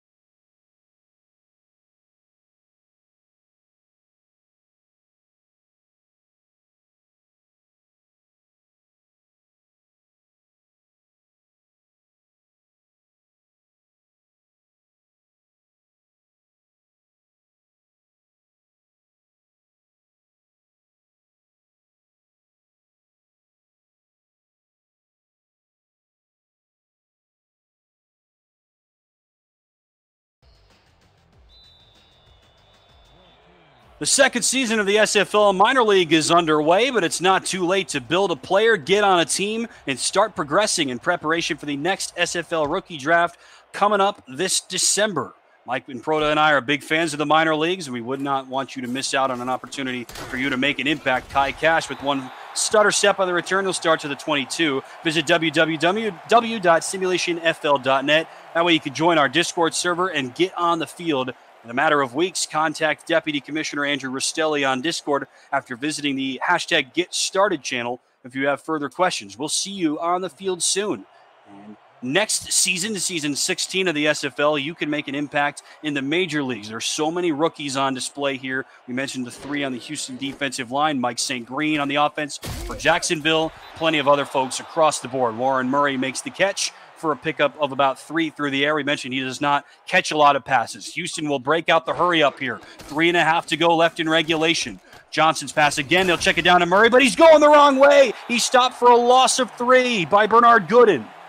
Murray just couldn't turn his shoulders around and he gets knocked back to the line of scrimmage. Unbelievable. A loss of three. Johnson on third down over the middle looking for Dax Lewis, and it's batted away by Clay Jones. Excellent coverage by the rookie middle linebacker. Johnson actually had a wide receiver over the middle, but Jones makes the play, and Houston is going to punt questionable series of events for the Houston Hyenas. So much time left on the clock. Not sure why they went to the hurry up offense. There's plenty of time.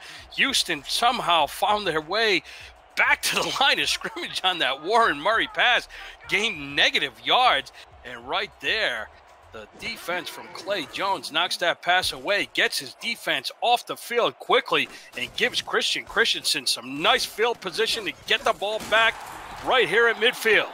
Brian Adams will punt it away, and indeed, Jacksonville will have great field position after that three and out from Houston. The first one of those that we've seen in a while. These two offenses have been clicking. Jacksonville, Mike, has scored on its last three possessions five yard pass TD from Christian Christensen to Ken Gossett, and then the two yard rush TD from Jared Willis, his second of the game. And on their last drive, nine plays, 43 yards, capped off by the 41 yard field goal from Anthony Cece. They're on a roll, 17 0 run to take the lead by seven. Jared Willis is stopped in the backfield. Hey, look who it is, Mike. Tina Begin on the stop. Great job by Tina Begin. She only had four TFLs on the season, but that's a big time play in a big time situation. Chris Joseph, the sophomore defensive end, wears number 74 in the Houston white and black. He's the most experienced of the foursome, second year man from Houston, and he's joined on the line. Demond Simeon had to rework his entire defensive line. All three rookies, all from the Northeast. Tina Begin from Rhode Island, Mike Baker from Carlisle, Pennsylvania, and Wolf Justice from Naugatuck, Connecticut, who has had a slow season despite being their first round pick this year. 2.14 to go. Jacksonville taking its time. Willis on the carry and he stopped after a gain of two. Ethan Kai was in the area as, as usual. Well, Jacksonville's got the seven point lead. They're going to give it to Willis to try and run this down, and that'll bring us to the two minute warning. Houston has all three timeouts left, but they also have a seven point deficit. Don't go anywhere. This is the Simulation Football League, the wild card round. The winner moves on. The conclusion is next on 11 Sports and for the fans.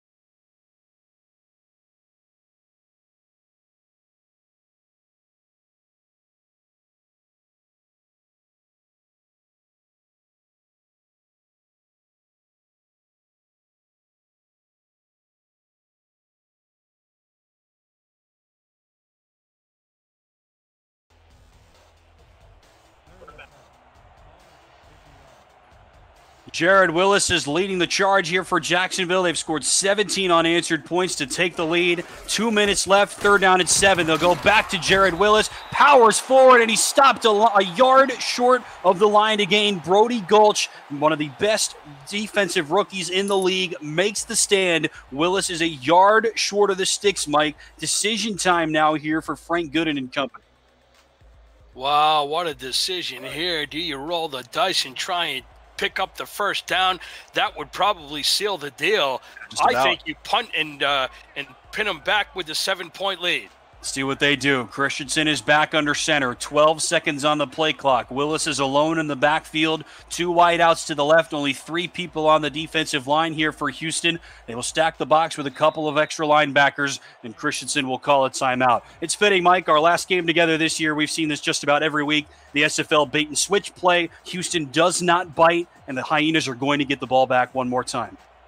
This time, I actually like the move by Frank Gooden, see if he can pick up the first down. But the Hyenas know what's at stake. They want the ball back.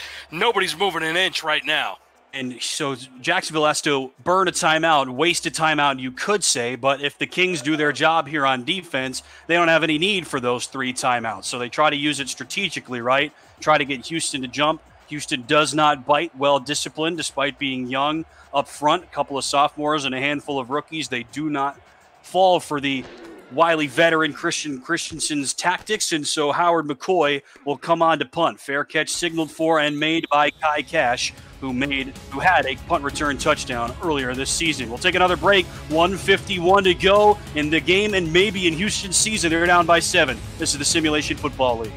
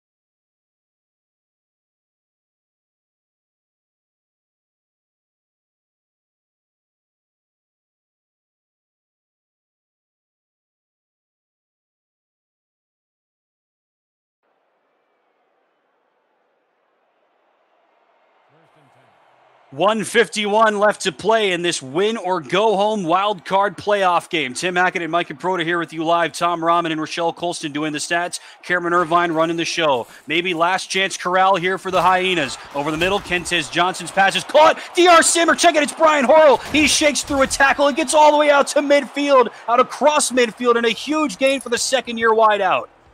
Wow, what a play by Brian Horrell coming across the middle of the field. And if somehow the Houston Hyenas can come away with this victory, you got to look at Brian Horrell as the star of the game. A career day for the second year wide receiver from Winston-Salem. Unofficially now, Mike, five catches for 89 yards and a touchdown.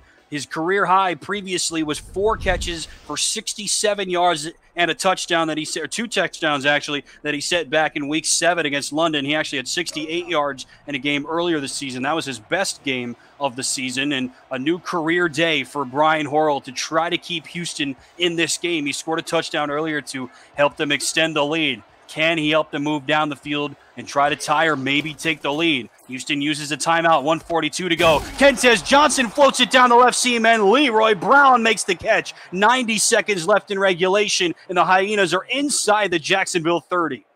Can Kentez Johnson lead the comeback? Two great passes, two big time plays. 23 yard gain for Leroy Brown, who has been somewhat quiet in this game. Now he's got over 90 receiving yards. First and 10. Johnson's pass over the middle, caught. First down again for Brian Horrell. He picks up 11.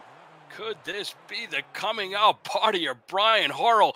Easily the best game of his young career. Remember, he had only six catch. So I'm sorry, 16 catches all season last year as a rookie. He's got six here tonight, and he's over hundred yards unofficially for the first time in his SFL career. Under a minute to go. Kentez Johnson off the worst game of his career, trying to lead a spirited comeback and keep the Hyenas in the playoffs. Johnson, top of the screen, caught for a gain of seven. DR Sim hauls it in that time. Michael Sprouse on the coverage. Houston will go right back to the line. They have one timeout left with which to work. 36 seconds left. Johnson to the near side this time. It's caught. Brian Horrell is into the end zone for a touchdown. And the Hyenas are a PAT away from tying the game with 33 seconds left. Are you serious, Brian Horrell? What a drive by Kentez and company. And the man from Winston-Salem does it again.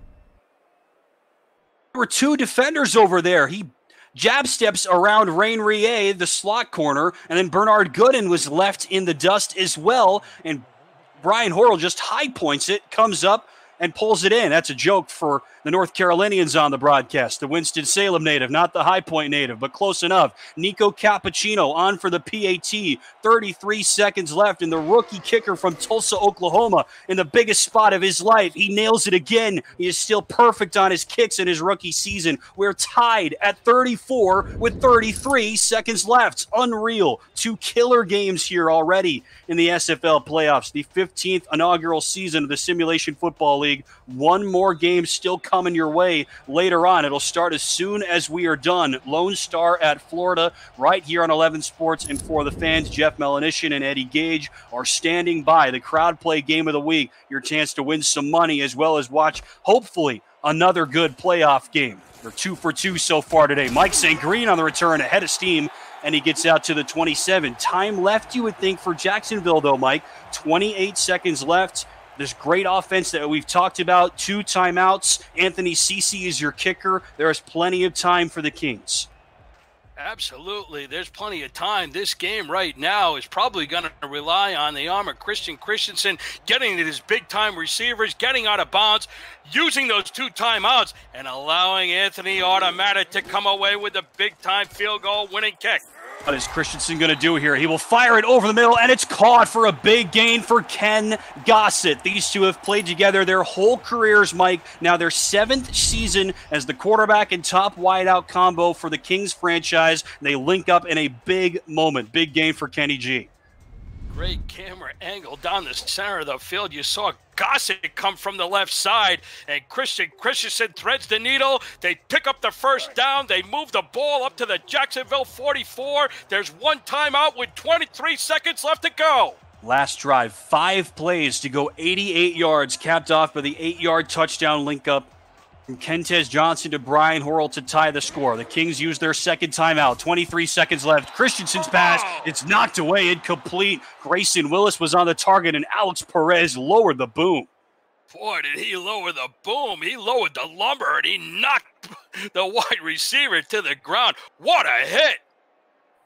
What a hit is right. And Alex Perez has – had a really solid fourth quarter after he was beaten a couple of times earlier in this game. Grayson Willis had a touchdown earlier to get the scoring started in the game, has been fairly quiet since. 21 seconds now left in regulation. Three wides for the seventh year veteran Christensen. He's got time to the near side. It's tipped oh, and it's intercepted by Brady Clark. Everett Garrison had the coverage. Christensen was looking for his longtime friend Ken Gossett and this Houston defense. They've lived on the takeaways all season. Garrison swats it. Clark grabs it, and the Hyenas stop the drive in its tracks. Big time players come up in big time situations, and Everett Garrett makes a big time play.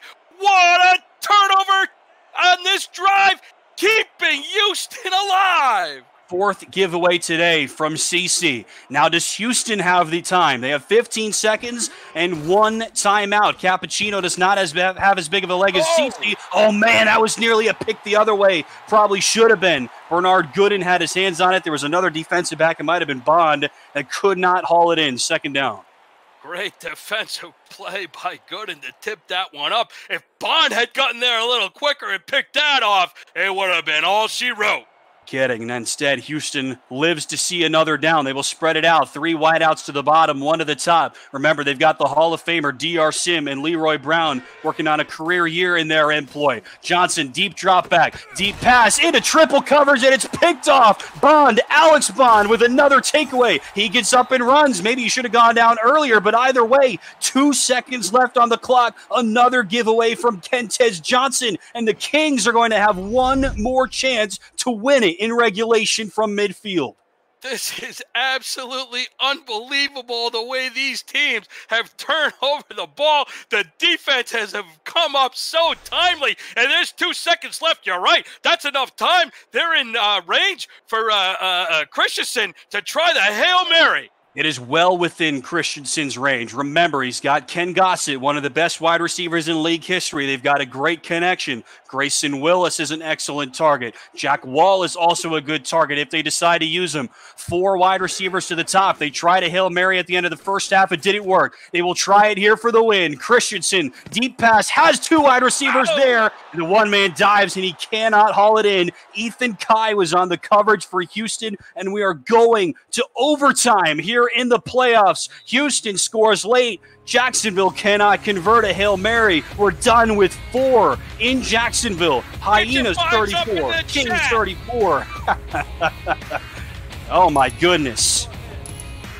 This is the second time that these two franchises have gone to overtime. Commissioner and SFL historian and founding father Cameron Irvine is telling us another overtime game between these two. The last one came in season six Houston won it by scoring an interception in overtime, and then DR Sim scored a touchdown pass. But they're going to need to stop here first. Old school rules in effect here in the SFL. The next points of any kind win the game. 11 more minutes on the clock. Fives up in the chat. The Kings will get the ball first. Mike St. Green on the return.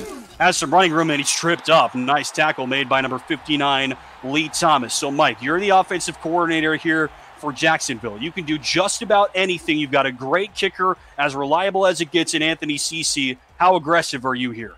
Well, we've talked about both teams all day long. We've talked about being calm, cool, and collected. CC, Christian Christensen's got to keep his composure. Let's see if they give it to their workhorse, Jared Willis, to lead the way under 200 passing yards today, Christian Christensen. He averages better than 250 in the regular season. They will go to Jared Willis, who is working on one of the best games of his career, and he picks up six. You see it there 177 rushing yards for Willis. We talked about Warren Murray. When he's good, Houston is good. The same is true for Jared Willis, Mike. This is now the eighth time this season that Jared Willis has gone over 100 rushing yards. In the seven times in this regular season, he also had 99 in one game, but in the seven times this season where Willis cracked 100 yards rushing, Jacksonville was six and one. Can they do it again? Christensen's pass is caught by Ken Gossett. First down out towards the Jacksonville 45. Stopped by Garrison.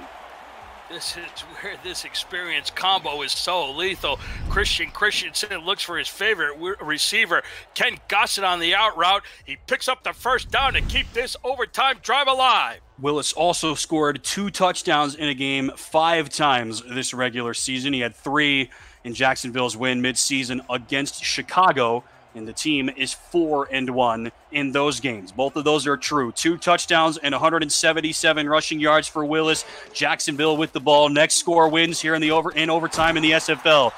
Christensen's pass is caught by Grayson Willis. They'll work the bottom of the screen, and Grayson picks up seven. Tackle made by Kai Cash like the way this ball control offense right now is clicking for Christian Christensen and the Kings. Remember, all Jacksonville needs is a field goal. It's worth belaboring the point. Next score of any kind wins. Of course, a defensive score for Houston would also win it for them.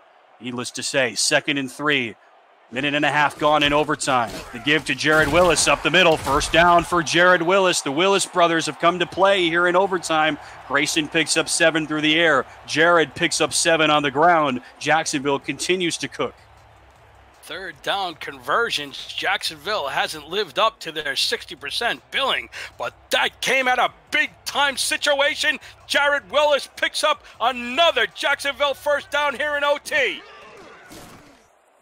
Remember, Houston's defense has struggled all season. Christensen to the top of the formation. That's caught by Jack Wall. He will accelerate, and he's blown up at the end of the run by Brady Clark. But Wall picks up 14. Is that Willis? Actually, it is 11, not 81. My apologies. Either way, big gain for Grayson Willis. Pick up 14, and they'll move the chains again. Grayson Willis, he's been targeted 11 times with only five receptions, but that one comes up in a big time situation, giving Jacksonville another first down. And I really like what Christian Christensen has done. He hasn't taken any chances. He's found his open receivers to the outside, and one more play might seal the deal for Anthony Cece to come out and put this one away. Would be a 45 yard field goal from here, but Christensen is going to come out and pass. He'll sling it, risky pass, but it's caught inside the 20 yard line. Goes Ken Gossett. Somehow that play was made. Alex Perez nearly had a pick. He might have been able to take it to the house if he pulled it off. Either way, it's a gain of nine for Ken Gossett. How soon do you bring on Anthony Cece? Right now, I was just about to say, what's Frank Gooden thinking? It's uh, they got the ball down on the 19. Anthony Cece's kicked every single field goal in his SFL career. Give him a shot. The time is now. Second year kicker from Andover, New Jersey, has never missed a field goal in his SFL career. He's on to win it for Jacksonville, and Anthony Cece delivers. The Kings weather the storm. They hold on to the crown. A valiant effort from the Hyenas, but it's Jacksonville that's moving on. Anthony Cece hits his third field goal of the day, and Jacksonville wins it in overtime. What a ball game we had here in Duval County. Anthony Automatic in overtime kicks the Jacksonville Kings to the second round. A hat trick for the second year man from New Jersey. What a game. Jacksonville leads big early. Houston thought they were seeing a re- replay of last week's laugher against Vancouver, but not to be. Houston then goes on a run and takes the lead in the second half. Then Jacksonville goes on a run and takes the lead. Houston scores late. Kentez Johnson's pass to Brian Horrell to force overtime. Then in overtime, Jacksonville gets the ball, marches down the field, and you set up your playmakers to make plays, right? Ken Gossett makes this nine yard catch to get them well within range after Grayson Willis made a couple of catches on the drive. Cece knocks it through, and Jacksonville's moving on. They'll play Sioux Falls next week. The best drive of the game from Christian Christensen and the Jacksonville Kings came there on that first possession in overtime. Didn't allow Houston to get the ball back moved it down the field. They took their time. They stayed cool. They got it down to the Houston 18. And Anthony Cece stays perfect on the season to give his team an opportunity to survive and advance. All about Jared Willis, 182 rushing yards, his first two career playoff touchdowns. Jacksonville is now 7 and 1 this season when Willis has over 100 yards rushing. Warren Murray was solid as he usually is, Mike, but he was not explosive enough. And really, when it all comes down to it, Willis was the better of the two backs, and that is a big reason why Jacksonville won.